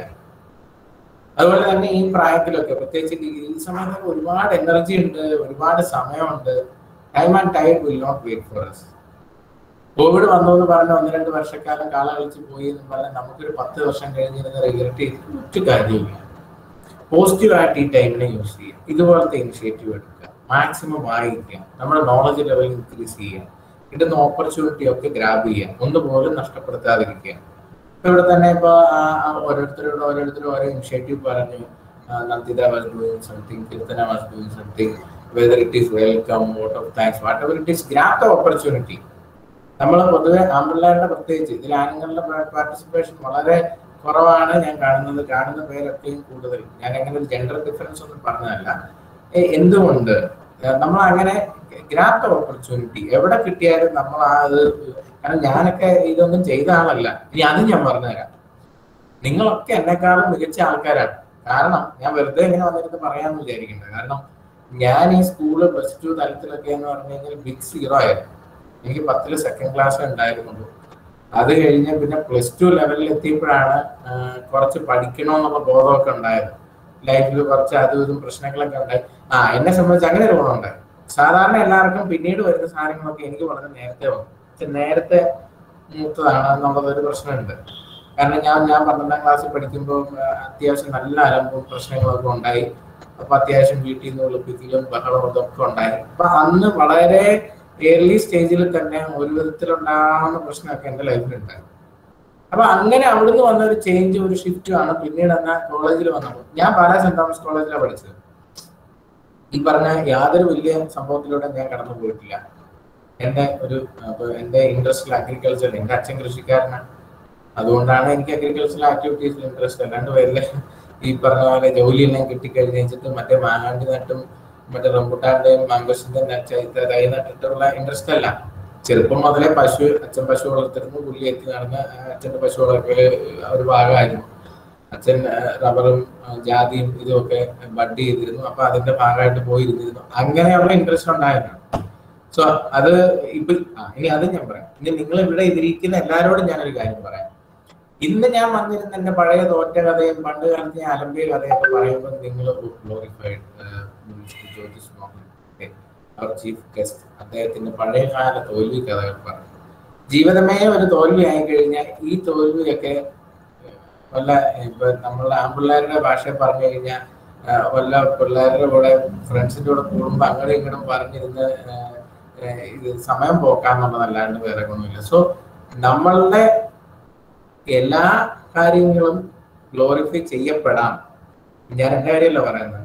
നമ്മൾ വലിയ വലിയ ഹീറോസിനെ കുറിച്ചൊക്കെ പഠിച്ചു വരുമ്പോഴേ അവരുടെ ജീവിതത്തിലെ പല തെറ്റുകൾ പോലും പിന്നീട് ഗ്ലോറിഫൈ ചെയ്യപ്പെടും. കാരണം അൾട്ടിമേറ്റ്ലി ഞാൻ നേരത്തെ പറഞ്ഞ ആ ഒരു മിഷൻ പൂർത്തീകരിച്ച് മിഷനിൽ എത്തിക്കഴിഞ്ഞാൽ പിന്നെ പോയ കഥയൊക്കെ ആൾക്കാർക്ക് കേൾക്കാം. നേരെ മറിച്ച് ഞാൻ ഇന്നിപ്പോ ഒരു ഓട്ടോക്കാരനായിരുന്നെങ്കിലോ മനേഷ് എന്നെ വിളിക്കുമോ മേഡം എന്നെ അഥവാ മനേഷ് വിളിച്ചാൽ തന്നെ മേഡം അക്സെപ്റ്റ് ചെയ്യും. ഇല്ല നിങ്ങൾ ആരും കേൾക്കുമില്ല സോ നാളെ നിങ്ങളെ സംബന്ധിച്ചിടത്തോളം നിങ്ങളുടെ ലൈഫ് സക്സസ്ഫുൾ ആയെങ്കിൽ മാത്രമേ ഇന്നിപ്പോ എനിക്ക് വളരെ തമാശ രൂപത്തിൽ ഇതൊക്കെ പറയാൻ പറ്റുന്നത് എന്തുകൊണ്ടാണ്? അതിൽ കൂടെ കടന്നു വന്നതുകൊണ്ടാണ് ഞാൻ ഈ സെന്റ് തോമസിൽ പഠിച്ച് ഇതിലേക്ക് ആ- സെന്റ് തോമസ് കോളേജിൽ അന്ന് അവിടെ ഒരു സിവിൽ സർവീസ് ഇനിഷ്യേറ്റീവ് ഉണ്ടായിരുന്നതാണ്. ഞാൻ ഇന്ന് സിവിൽ സർവീസ് നിൽക്കാനൊരു കാരണം. ഇനി നിങ്ങൾ കൂട്ടുകാരെ നിങ്ങൾ വിചാരിക്കേണ്ട.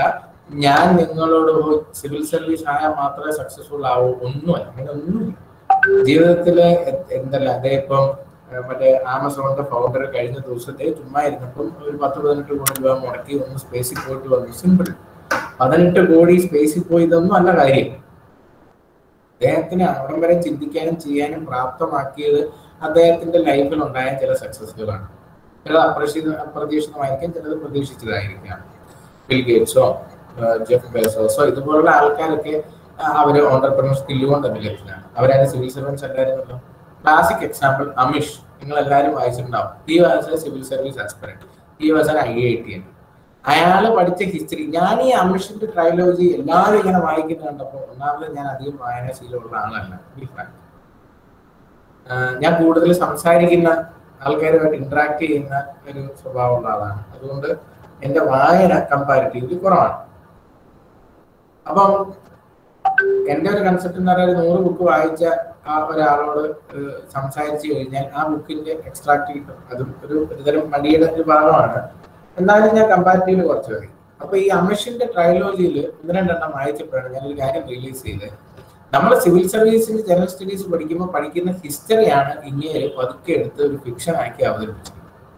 ഇത് ഒരു വിധത്തിലുള്ളവരൊന്നും പെട്ടെന്ന് പിടിയിട്ടാത്തത് കൊണ്ടിട്ട് അയ്യോ അദ്ദേഹം എഴുതിയിരിക്കുന്ന ഭീകരമായ കഥകളായിട്ട് അത് വായിക്കും ഇൻഡസ് വാലി സിവിലൈസേഷന്റെ പീരീഡും ഋഗ്വേദിക് പീരീഡും പിന്നീട് ഉണ്ടായ ഇന്ത്യയിലെ ആദ്യകാല എംപയറുകളുടെ കഥ മഗധ ഏതൊക്കെ പോലെ ബിംബിസാര അങ്ങനെ ഒക്കെ നിങ്ങൾ കേട്ടിട്ടുണ്ടാവുമല്ലോ.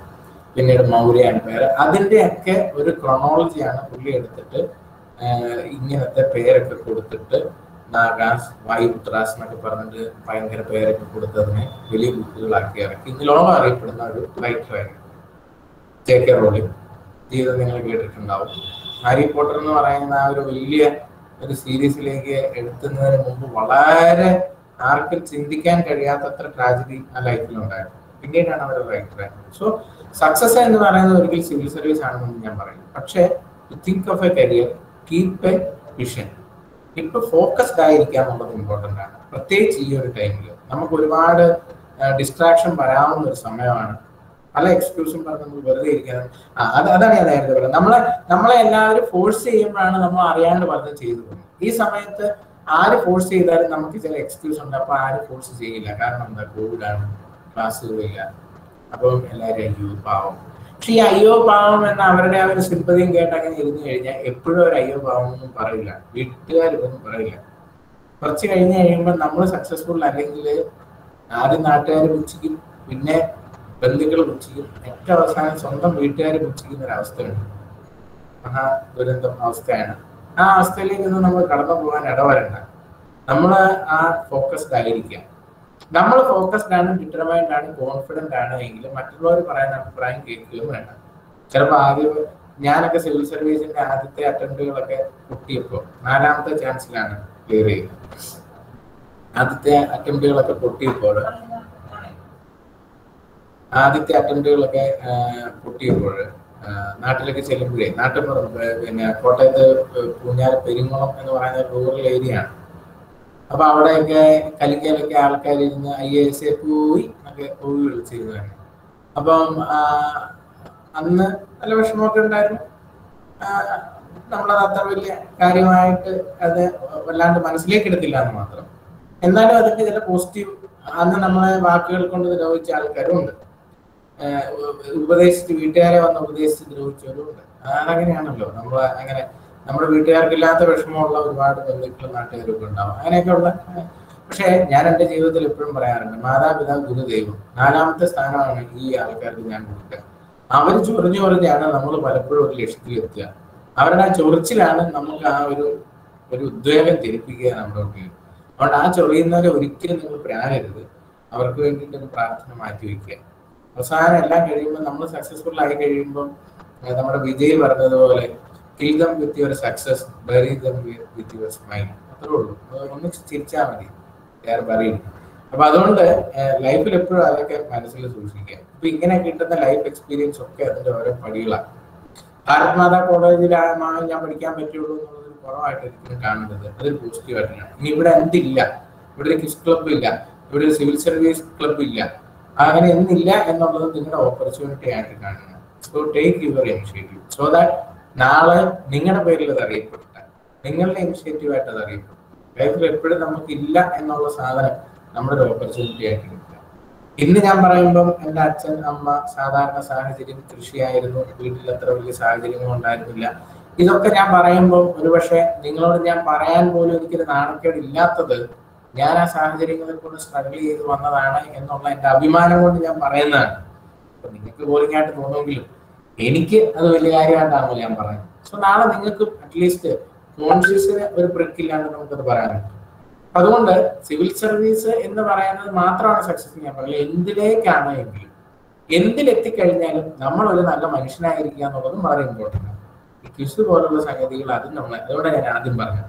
നമ്മുടെ അറിവില്ലായ്മകൾ അംഗീകരിക്കാനും മറ്റുള്ളവരുടെ അറിവിനെ അംഗീകരിക്കുകയാണ് മറ്റുള്ളവരുടെ അറിവിനെ നല്ല രീതിയിൽ ഒന്ന് സബ്മിസീവായി നിന്നുകൊണ്ട് സ്വീകരിക്കാനും ഉള്ള ഒരു ടെൻഡൻസി ഉണ്ടായാൽ തന്നെ as an individual be successful ആ ഒരു വ്യക്തിത്വം വെച്ചുകൊണ്ട് നമ്മൾ ഏതോ ഒരു ഫീൽഡിൽ കടന്നു പോയിക്കോട്ടെ അവിടെ ഒക്കെ നമ്മൾ സക്സസ്ഫുൾ ആവും. ലിങ്കന്റെ അച്ഛൻ പറഞ്ഞതുപോലെ നിനക്കൊരു മരം വെട്ടുകാരൻ അദ്ദേഹം മരം വെട്ടുകാരൻ നിനക്കൊരു ചെരുപ്പൂത്തിയാവും. അങ്ങനെയാണ് അദ്ദേഹം പറഞ്ഞത്. പക്ഷെ ചെരുപ്പ് കുത്തികളിൽ ഒന്നാമനായിരിക്കണം അത്ര മാത്രമേ പാവം ഒരു മരം വെട്ടുകാരനായിരുന്ന ഇബ്രാഹിം ലിങ്കന്റെ അച്ഛൻ അദ്ദേഹത്തിന് കൊടുത്തു സോ ലൈഫിൽ മുഴുനീളം അദ്ദേഹം ആ ഒരു കാര്യം മനസ്സിൽ സൂക്ഷിച്ചിരുന്നു. എന്ത് ചെയ്താലും do the best and be the best അപ്പോൾ നമ്മളെ സംബന്ധിച്ചോ അത്രേ ഉള്ളൂ. ലൈഫിൽ ആ ഒരു മോട്ടോ കീപ്പ് ചെയ്യുക. എന്തും ഹൺഡ്രഡ് പേഴ്സെന്റ് എഫേർട്ട് ഇട്ടുവെന്ന് നമ്മുടെ മനസ്സാക്ഷിക്ക് തോന്നുക. ബാക്കിയുള്ളവരുടെ സർട്ടിഫിക്കറ്റ് വിട്ടേ നമ്മളുടെ മനസ്സാക്ഷിക്ക് നാളെ തോന്നരുത് ശോ നമ്മുടെ ലൈഫിൽ നമുക്ക് കുറെ കൂടെ ചെയ്യാമായിരുന്നു. ഞാൻ കുറെ ഉഴപ്പ് നശിപ്പിച്ചു കളഞ്ഞു ആ ഒരു റിഗ്രറ്റ് വരരുത് അത്രേ നമ്മൾ എഫേർട്ട് ഇട്ടു. നടന്നില്ലേ? നടന്നില്ല. അത്ര തന്നെ എല്ലാവരും സക്സസ്ഫുൾ ആവുക എന്ന് പറയുന്നത് അതല്ലേ പറഞ്ഞത്? എല്ലാം ഫുൾ എ പ്ലസ് കിട്ടുന്നവരെ അഭിനന്ദിക്കുമ്പോഴും നമ്മൾ ആകെ ആലോചിക്കേണ്ട കാര്യമുണ്ട്. അങ്ങനെ അല്ലാത്തവരെയും കൂടെ നമ്മൾ കാണണം. അഭിനന്ദനം വേണ്ട എന്നതാണ് പറയുന്നത്. ഓഫ് കോഴ്സ് അങ്ങനെ അഭിനന്ദിക്കുമ്പോഴാണല്ലോ നാളെ എനിക്കും അഭിനന്ദനം വേണം എന്നുള്ളത് തോന്നരുത് അതിനാണല്ലോ അംബീഷൻ എന്നൊക്കെ നമ്മൾ പറയുന്നത്. അതുകൊണ്ട് അഭിനന്ദനം വേണ്ടെന്നൊന്നും ഞാൻ പറയില്ല. കാരണം റീസെന്റ് കളക്ടർ ബ്രോ അങ്ങനെ ഒരു കാരണം അദ്ദേഹത്തിന്റെ വളരെ അടുത്ത സുഹൃത്താണ്. അദ്ദേഹം ഇന്നൊരു കമന്റ് പറഞ്ഞിരുന്നു. സോ അഭിനന്ദനം വേണ്ട എന്ന് ഞാൻ പറയില്ല. പക്ഷെ നമ്മൾ മറ്റുള്ളവരെയും കൂടെ കാണണം. മറ്റുള്ളവരെയും അതിനെ പ്രചോദിപ്പിക്കുന്ന രീതിയിലാണ്. മറ്റുള്ളവരെ ചവിട്ടിത്തേച്ചിട്ടുള്ള ഒരു അഭിനന്ദനം ആകരുത് എന്ന് മാത്രം. എല്ലാവരെയും ഒരുപോലെ പ്രചോദിപ്പിക്കുന്ന തരത്തിലുള്ളതാവാം. അപ്പം അതൊക്കെ നമ്മൾ എപ്പോഴും അത് അത് അല്ലെങ്കിൽ നമ്മളുടെ ഏതോ ഒരു ലെവലിലും നമുക്ക് പരാജയങ്ങൾ ഉണ്ടാവാം. ആ പരാജയങ്ങളിൽ നിന്നും വീണ്ടും എനർജി സ്വീകരിച്ച് മുന്നോട്ട് പോകാനുള്ള ഒരു മനസ്സുണ്ടെങ്കിൽ തന്നെ നമ്മൾ സക്സസ്ഫുൾ ആണെന്ന് ഞാൻ പറയുള്ളൂ. അല്ലാണ്ട് വലിയ എന്റർപ്രണർ ആയെന്നോ അല്ലെങ്കിൽ വലിയ ഉദ്യോഗസ്ഥനായ എന്നുള്ളതൊന്നും ലൈഫിലെ അൾട്ടിമേറ്റ് സക്സസ് അല്ല. വലിയ വലിയ പല ഉദ്യോഗസ്ഥന്മാരും ജീവിതത്തിൽ പരാജയമാണ്. ചില ആൾക്കാർ എം എൽ എമാരും മന്ത്രിമാരും ആയിട്ടുണ്ട്. പക്ഷെ ജീവിതം ഒരിക്കലും കരുപ്പിക്കാൻ പറ്റിയിട്ടില്ല. ഒരു കല്യാണം രണ്ട് കല്യാണം മൂന്ന് കല്യാണം. ഇപ്പം ക്യൂസിലുള്ളവർക്ക് ഞാൻ ഉദ്ദേശിച്ച ആളാരാണെന്ന് മനസ്സിലാക്കാണ് ഞാൻ ആരാ ആളെ പറയുന്നത്. അപ്പം ലൈഫിൽ സക്സസ്ഫുൾ ആവുക എന്നുള്ളതും വളരെ ഇമ്പോർട്ടന്റ് ആണ്. അപ്പൊ അതിനൊക്കെ നമുക്കൊരു വ്യക്തിത്വം വേണം. നമുക്ക് ആ വ്യക്തിത്വം ഉണ്ടാക്കി തരാൻ ഇത്തരത്തിലുള്ള ഇനിഷ്യേറ്റീവ് നമുക്ക് സാധിക്കും. അതിന് ഇനിഷ്യേറ്റീവ് എടുക്കുന്നതും വളരെ നല്ലതാണ്. അപ്പൊ അതുകൊണ്ട് ഈ കോളേജ് ഇതിന്റെ ഉള്ളിൽ നിന്നുകൊണ്ടൊരു ചെറിയ ഇനിഷ്യേറ്റീവ് ആണ് എങ്കിലും ഇതിനെ നല്ല രീതിയിൽ നിങ്ങൾ മനസ്സിൽ സ്വീകരിക്കുക. മാക്സിമം നിങ്ങൾ ഇന്റർ കോളേജായിട്ട് ഉൾപ്പെടെയുള്ള കാര്യങ്ങൾ ഓൺലൈനായിട്ട് പോലും നിങ്ങൾക്ക് ചെയ്യാൻ എന്തെല്ലാം നമുക്ക് ഫെസിലിറ്റീസ് ഉണ്ട്. അപ്പൊ അതിനൊക്കെ ഇനിഷ്യേറ്റീവ് എടുക്കുക. അതിനുവേണ്ടി പ്രിപ്പയർ ചെയ്യുക. ഈ ഈ സമയത്ത് നമുക്ക് കിട്ടുന്ന എനർജി ഒന്നും നമുക്ക് പിന്നീട് കിട്ടത്തില്ല. ഞാൻ നേരത്തെ പറഞ്ഞ ലൈഫിൽ ഏതെങ്കിലും ടൈമിൽ റിഗ്രറ്റ് ആയിട്ട് മക്കളെ ഉപദേശിക്കുന്ന അവസ്ഥ ഇപ്പൊ തന്നെ ഞാനൊരു അച്ഛനാണ് അപ്പൊ ഇപ്പൊ തന്നെ ജനറേഷൻ ഗ്യാപ്പ് ഭയങ്കര. ഈ നമ്മുടെ കാലത്തൊന്നും എത്തുമ്പോഴത്തേക്കും മക്കളൊന്നും നമ്മളെ കേൾക്കാനൊന്നും പോകുന്നില്ല. അതുകൊണ്ട് അവനവനെ തന്നെ എന്തെങ്കിലുമൊക്കെ ചേഞ്ച് ഉപദേശിച്ച് നന്നാക്കാൻ നോക്കുക. മക്കളെ നമ്മൾ നന്നാക്കുന്നതിനെ ആലോചിക്കണം. അവർക്ക് അവരുടേതായ വഴിയുണ്ടാവും അപ്പം നമ്മൾ നമ്മളുടെ ലൈഫിൽ തന്നെ ചേഞ്ചസ് കൊണ്ടുവരും. ഞാനിതിപ്പോ എപ്പോഴും പറയുമ്പോൾ സ്പാർക്ക് നമ്മൾ പറയും. നമ്മുടെ ലൈഫിൽ ഒരു സ്പാർക്ക് ഉണ്ടാവും. ആ ഒരു സ്പാർക്ക് ലൈഫിൽ വലിയൊരു ചേഞ്ച് ഉണ്ടാക്കിയിട്ടുണ്ട്. അത് എല്ലാവരുടെ ലൈഫിൽ സ്പാർക്ക് വരും. അത് സാധാരണ വലിയ മറ്റേ ഐ സിയുലൊക്കെ കിടക്കുന്ന സമയത്താണ്. പലതും ചെയ്യാമായിരുന്നു ചെയ്തത് പലതും ശരിയായില്ല ചെയ്തതായിരുന്നു എന്നൊക്കെ തോന്നുന്ന ഒരു സമയമാണ് ഞാൻ പറയുന്ന സ്പാർക്ക്. അപ്പൊ അതൊരു എഴുപതാം വയസ്സിലൊക്കെ വന്ന ആ സ്പാർക്ക് വരുന്ന കൂട്ടത്തിൽ ഒരു പോക്കായിരിക്കും. പിന്നെ അങ്ങ് തിരിച്ചു വരില്ല. അപ്പം ലൈഫിൽ സമയമുള്ളപ്പോൾ ലൈഫിൽ എനർജി ഉള്ളപ്പോൾ ലൈഫിൽ ഒരു സ്പാർക്ക് ഉണ്ടായാൽ ലൈഫ് മീനിങ് ഫുൾ ആവും നമ്മളിപ്പോൾ ഈ ക്വസ്റ്റിലും ഇതിലും കോമ്പറ്റേറ്റീവ് എക്സാമിനേഷനിലേക്ക് പോകുമ്പോൾ എത്രയോ വ്യക്തിത്വങ്ങളെ നമ്മൾ പഠിക്കുന്നു. അവരുടെ ജീവിതത്തിലും പഠിക്കുന്നു. അവരുടെ ഭാര്യ മക്കളുടെ പേര് വരെ പഠിക്കുന്നു. നമ്മളെയൊക്കെ നമ്മുടെ ബന്ധുക്കൾക്കോ അയൽവക്കക്കാർക്കോ പോലും അറിയില്ല എന്നുള്ളതൊരു ദൂരത്തെ സത്യമായി നിലകൊള്ളുന്നു. എന്തിനാണ് ഈ ജീവിതം? എന്തിനോ വേണ്ടി തിളയ്ക്കുന്ന സാമ്പാറിന് ശനികുമാർ പറഞ്ഞ മാതിരി? നമ്മുടെ ലൈഫിലും വേണ്ട ഒരു മീനിങ്. നമുക്കും എന്തെങ്കിലും ഒരു കയ്യൊപ്പ് അവശേഷിപ്പിച്ചിട്ട് പോകണം എന്നുള്ള ഒരു വിഷൻ വെക്കുക അതിന് വേണ്ടിയിട്ട് ഒരു മിഷൻ സ്റ്റാർട്ട് ചെയ്യുക നമ്മുടെ ലൈഫ് മീനിങ് ഫുൾ ആക്കുക. ഇനി നാട്ടുകാർ ഇനി പറഞ്ഞു പഠിച്ച് പ്രാഗിയില്ലെങ്കിലും അറ്റ്ലീസ്റ്റ് നമുക്ക് അറിയാവുന്നവർക്കും വേണ്ടപ്പെട്ടവർക്കും എന്തെങ്കിലും ഉപകാരം ചെയ്യത്തക്ക രീതിയിലുള്ള ഒരു സ്റ്റാറ്റസിലെങ്കിലും നമുക്ക് എത്താൻ സാധിച്ചാൽ നാല് പേർക്ക് നമുക്കും ഒരു ഉപകാരം ചെയ്യാൻ സാധിച്ചാൽ അത് വലിയ കാര്യമാണ്. കാരണം നമ്മൾ പലരുടെ ഉപകാരങ്ങളൊക്കെ സ്വീകരിച്ചാണല്ലോ. എപ്പോഴും സ്വീകരിക്കൽ മാത്രമല്ലല്ലോ പലപ്പോഴും കൊടുക്കുകയും കൂടെ വേണം. അപ്പൊ അതുകൊണ്ട് അങ്ങനെ ഒരു മെന്റാലിറ്റിയിൽ ഒരു സ്പാർക്ക് ലൈഫിൽ ഉണ്ടാവണം. തീർച്ചയായിട്ടും ഈ ഇതിന്റെ ഭാഗമായി നിൽക്കുന്ന ഈ കുസ് ക്ലബിന്റെ ഭാഗമായി നിൽക്കുന്നവർക്കൊക്കെ അതുണ്ട്. അതുകൊണ്ട് തന്നെയാണ് ഇത്തരത്തിലൊരു ഇനിഷ്യേറ്റീവ് ഉണ്ടായത്. പ്രത്യേകിച്ച് മനേഷിനെ പോലുള്ള ആൾക്കാർ നിങ്ങൾക്കുള്ളപ്പം ശൈലി മാഡത്തിനെ പോലുള്ള ആൾക്കാർ നിങ്ങൾക്ക് പ്രിൻസിപ്പാളായിട്ടുള്ളപ്പം ജീവിതത്തിൽ എല്ലായിടത്തും ഇത്തരത്തിലുള്ള നല്ല ഒരു ടീമിനെ കിട്ടിയെന്നൊന്നും വരില്ല.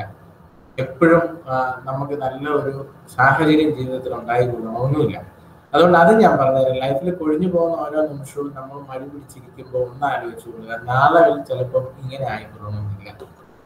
ചിലപ്പോൾ നമുക്കോ നമുക്ക് വേണ്ടപ്പെട്ടവർക്കോ ശാരീരികമായോ മാനസികമായോ സാമ്പത്തികമായോ ഉണ്ടാകുന്ന ബുദ്ധിമുട്ടുകൾ ഇപ്പോൾ നമുക്കുള്ള ഒരു നല്ല സാഹചര്യം നാളെ ഇല്ലാണ്ടാക്കിയേക്കാം. അതുകൊണ്ട് എല്ലാ അനുകൂലമായിരിക്കുന്ന സമയത്ത് പ്രവർത്തിക്കാതിരിക്കുന്നത് നാളെ വലിയ റിഗ്രറ്റ് ചിലപ്പോൾ മനസ്സിലുണ്ടാകും. അതുകൊണ്ട് തന്നെ ടൈം കളയണ്ട. നമുക്ക് കയ്യിലുള്ള സമയം ഓരോ നിമിഷവും നമ്മൾ എന്തെങ്കിലും പോസിറ്റീവായ എഫേർട്ട് ഈ എനർജി ഉള്ള സമയത്ത് ഇട്ട് എന്ന് ഉറപ്പാക്കുക. അത് നമ്മുടെ ലൈഫിന് മീനിങ് തരും.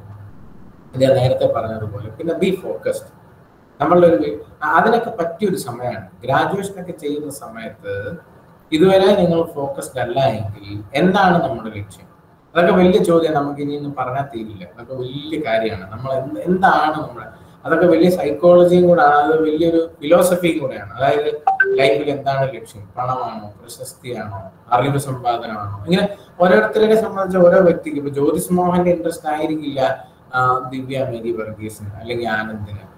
അല്ലെങ്കിൽ ഓരോ ആൾക്കാർക്കും അവരവരുടേതായിട്ടുള്ള വ്യത്യസ്തമായിട്ടുള്ള താല്പര്യങ്ങളും കാഴ്ചപ്പാടുകളും ഒക്കെ ഉണ്ടാവും. ഒരാൾ മറ്റൊരാളുടെ ലൈഫിലേക്ക് കടന്നു കയറുന്നതോ എന്റെ ലൈഫ് പോലാണ് നിങ്ങളുടേതെന്നോ ഒരു അച്ഛനും അമ്മയും മക്കളോടോ ഒരു ടീച്ചർ ശിഷ്യന്മാരോടോ ഒന്നും പറയാൻ പാടില്ല. കാരണം ഓരോ വ്യക്തിയുടെയും ജീവിത സാഹചര്യങ്ങളും താല്പര്യങ്ങളും ദൈവം കൊടുത്തിരിക്കുന്ന കഴിവുകളും ഒക്കെ വ്യത്യസ്തമാണ് അവനവന്റെ ലോകം അവനവൻ തന്നെ കണ്ടെത്തും. അതിന് ചുറ്റുപാടുമുള്ള സാഹചര്യങ്ങൾ നെഗറ്റീവ് ആണ് എങ്കിൽ പോലും നമ്മുടെ തോന്നലിൽ അത് നെഗറ്റീവ് ആണെങ്കിൽ പോലും പോസിറ്റീവ് ആക്കി മാറ്റുക. ആ സ്ട്രഗിളിൽ കൂടെ അതുകൊണ്ടാണ് പ്രക്ഷുബ്ധമായ കടലെ ഒരു നല്ല നാവികനെ സൃഷ്ടിക്കുന്നത്. ശാന്തമായ സമുദ്രത്തിൽ കൂടെ ഒരു നാവികനെ കപ്പൽ ഓട്ടിക്കാൻ വലിയ ബുദ്ധിമുട്ടൊന്നുമില്ല. പക്ഷെ പ്രക്ഷുബ്ധമായ സമുദ്രങ്ങളെ നല്ല ഒരു നാവികനെ സൃഷ്ടിക്കുന്നു. എന്ന് പറഞ്ഞതുപോലെ let's take challenges let's face challenges അതിൽ നിന്ന് ഒളിച്ചോടാനോ ഓടി രക്ഷപ്പെടാനോ നോക്കണ്ട സന്യാസം അല്ല നമുക്ക് വേണ്ടത്. നമുക്ക് വേണ്ടത് എന്തിനേയും ഫേസ് ചെയ്യാൻ പറ്റുന്ന മനസാന്നിധ്യമുള്ള നാളേക്ക് നാളെ തലമുറയ്ക്ക് പാഠമാക്കാൻ പറ്റുന്ന രീതിയിലുള്ള ചലഞ്ചസിനെ സ്വീകരിക്കുകയും അതിനെ അതിഗംഭീരത്തോടു കൂടി നേരിടുകയും മുന്നോട്ട് പോവുകയും ചെയ്യുന്ന വ്യക്തിത്വമാണ് അതിനൊക്കെയുള്ള വലിയ ഇനിഷ്യേറ്റീവാണ് ഈ കോളേജ് നാളെ നിങ്ങളുടെ പേരിൽ അറിയപ്പെടട്ടെ. ഇന്ന് ഈ കോളേജിലാണ് നിങ്ങൾ പഠിച്ചതെങ്കിൽ നാളെ ഈ കോളേജ് നിങ്ങളുടെ പേരിൽ അറിയപ്പെടാനും നിങ്ങളാൽ ആ കോളേജിലെ എന്തെങ്കിലും കാര്യങ്ങളൊക്കെ നടക്കുവാനും ഒക്കെ സാഹചര്യം ഉണ്ടാവട്ടെ. ആഹ് അപ്പൊ അതിനൊക്കെ ഉള്ളൊരു വലിയ ഇനിഷ്യേറ്റീവ് ആവട്ടെ ഇത്. ഇതിലുള്ള ഓരോരുത്തരും ഇപ്പോൾ നിങ്ങൾ നിങ്ങൾക്കൊരു വിഷൻ ഉണ്ടെങ്കിൽ അതിലേക്കുള്ള മിഷൻ സ്റ്റാർട്ട് ചെയ്യാനും ഒരു വിഷൻ ഇല്ലെങ്കിൽ അങ്ങനെ ഒരു വിഷൻ ഫിക്സ് ചെയ്യാനും ആ വിഷൻ ഫിക്സ് ചെയ്തുകൊണ്ട് അതിലേക്ക് ഫോക്കസ്ഡ് ആയിട്ടുള്ള ഒരു മിഷൻ നിങ്ങൾ സ്റ്റാർട്ട് ചെയ്യാനും ഒക്കെയുള്ള ഒരു വലിയ തുടക്കമായിട്ട് മാറട്ടെ. ഇതിലുള്ള ഓരോരുത്തരും അവരവരുടേതായ രീതിയിൽ ജീവിതത്തിൽ വലിയ സക്സസ് ഉണ്ടാക്കി തീർക്കട്ടെ എന്ന് പ്രത്യേകം ആശംസിക്കുന്നു. അതിനുള്ള എല്ലാ അനുഗ്രഹം തരട്ടെ എന്ന് പ്രാർത്ഥിക്കുന്നു. ഇത്രയും പറഞ്ഞുകൊണ്ട് എനിക്ക് ഇങ്ങനെ ഒരു അവസരം തന്ന ഭാരത് മാതാ കോളേജിന്റെ principal course faculty coordinator Manesh other student coordinators and this quiz club all the members എല്ലാവരും പ്രത്യേകം നന്ദി അറിയിക്കുന്നു ഇങ്ങനെ ഒരു അവസരം എനിക്ക് തന്നതിൽ ഈ ഒരു ടൈമിൽ ഇങ്ങനെ വന്ന് എല്ലാവരെയും കാണാൻ ഇന്ററാക്ട് ചെയ്യാനൊക്കെ പറ്റുന്നത് മാനസികമായിട്ട് വലിയ റിലീഫാണ് സോ അത് പ്രത്യേകം പറയാതിരിക്കാൻ പറ്റില്ല. അപ്പൊ അതിലൊരിക്കൽ കൂടി നന്ദി പറഞ്ഞുകൊണ്ട് ഞാൻ താൽക്കാലികമായിട്ട് എന്റെ വാക്കുകൾ നിർത്തുന്നു. ഒരിക്കൽ കൂടി ഈ ക്വിസ് ക്ലബിന് ഇത് ഇനാഗ്രേറ്റ് ചെയ്തതായിട്ടും ഇതിനെല്ലാ ഭാവങ്ങളും ഉണ്ടാകട്ടെ എന്ന് പ്രാർത്ഥിക്കുകയും ചെയ്തുകൊണ്ട് ഞാൻ നിർത്തുന്നു. താങ്ക് യു സർ സർ ഒരുപാട് കാര്യങ്ങൾ നമുക്ക് മനസ്സിലാവുന്ന രീതിയിൽ വളരെ നന്നായിട്ട് തന്നെയാണ് പറഞ്ഞു തന്നത്. അപ്പോ സാർ പറഞ്ഞ പോലെ തന്നെ do the best and be the best പിന്നെ നമ്മുടെ ഫെയിലിയറിന്റെ ഓരോ സ്റ്റെപ്പും സക്സസിലേക്കുള്ളതാവട്ടെ എന്ന് എല്ലാവരോടും പറയുന്നു. ഇനി ചെറിയൊരു ഇന്ററാക്റ്റീവ് സെഷൻ ആണ്. അപ്പോൾ ഈ മീറ്റിങ്ങിലുള്ള ആർക്കെങ്കിലും എന്തെങ്കിലുമൊക്കെ സാറുമായിട്ട് ചോദിക്കാനോ പറയാനോ ഉണ്ടെങ്കിൽ ഇപ്പൊ ചെയ്യാവുന്നതാണ്.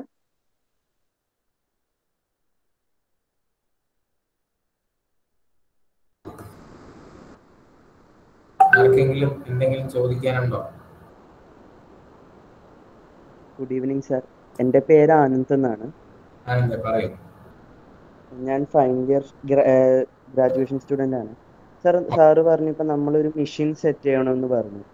പക്ഷെ നമ്മളുടെ ഈ ഒരു സമയം എന്ന് വെച്ചാൽ കുറേ കൺഫ്യൂഷൻസ് ഏത് ഏത് മെഷീൻ എവിടെ നിന്ന് എങ്ങനെ സ്റ്റാർട്ട് ചെയ്യണം എന്നൊക്കെയുള്ള ഒരു കൺഫ്യൂഷൻ നമുക്ക് സ്റ്റേജ് ഈ ഒരു സ്റ്റേജിൽ നമുക്ക് എങ്ങനെ നമുക്ക് ഉറപ്പ് പറയാൻ പറ്റും? ഈ ഒരു പാത്ത് എടുത്താൽ നമുക്ക് ഒരു ഉറപ്പ് ഫ്യൂച്ചറിൽ ഒരു ഉറപ്പുണ്ട് അല്ലെങ്കിൽ നമുക്ക് എത്താൻ പറ്റും എന്നുള്ളൊരു അതായത് ആനന്ദ് പറയുന്ന കാര്യം എനിക്ക് മനസ്സിലായി.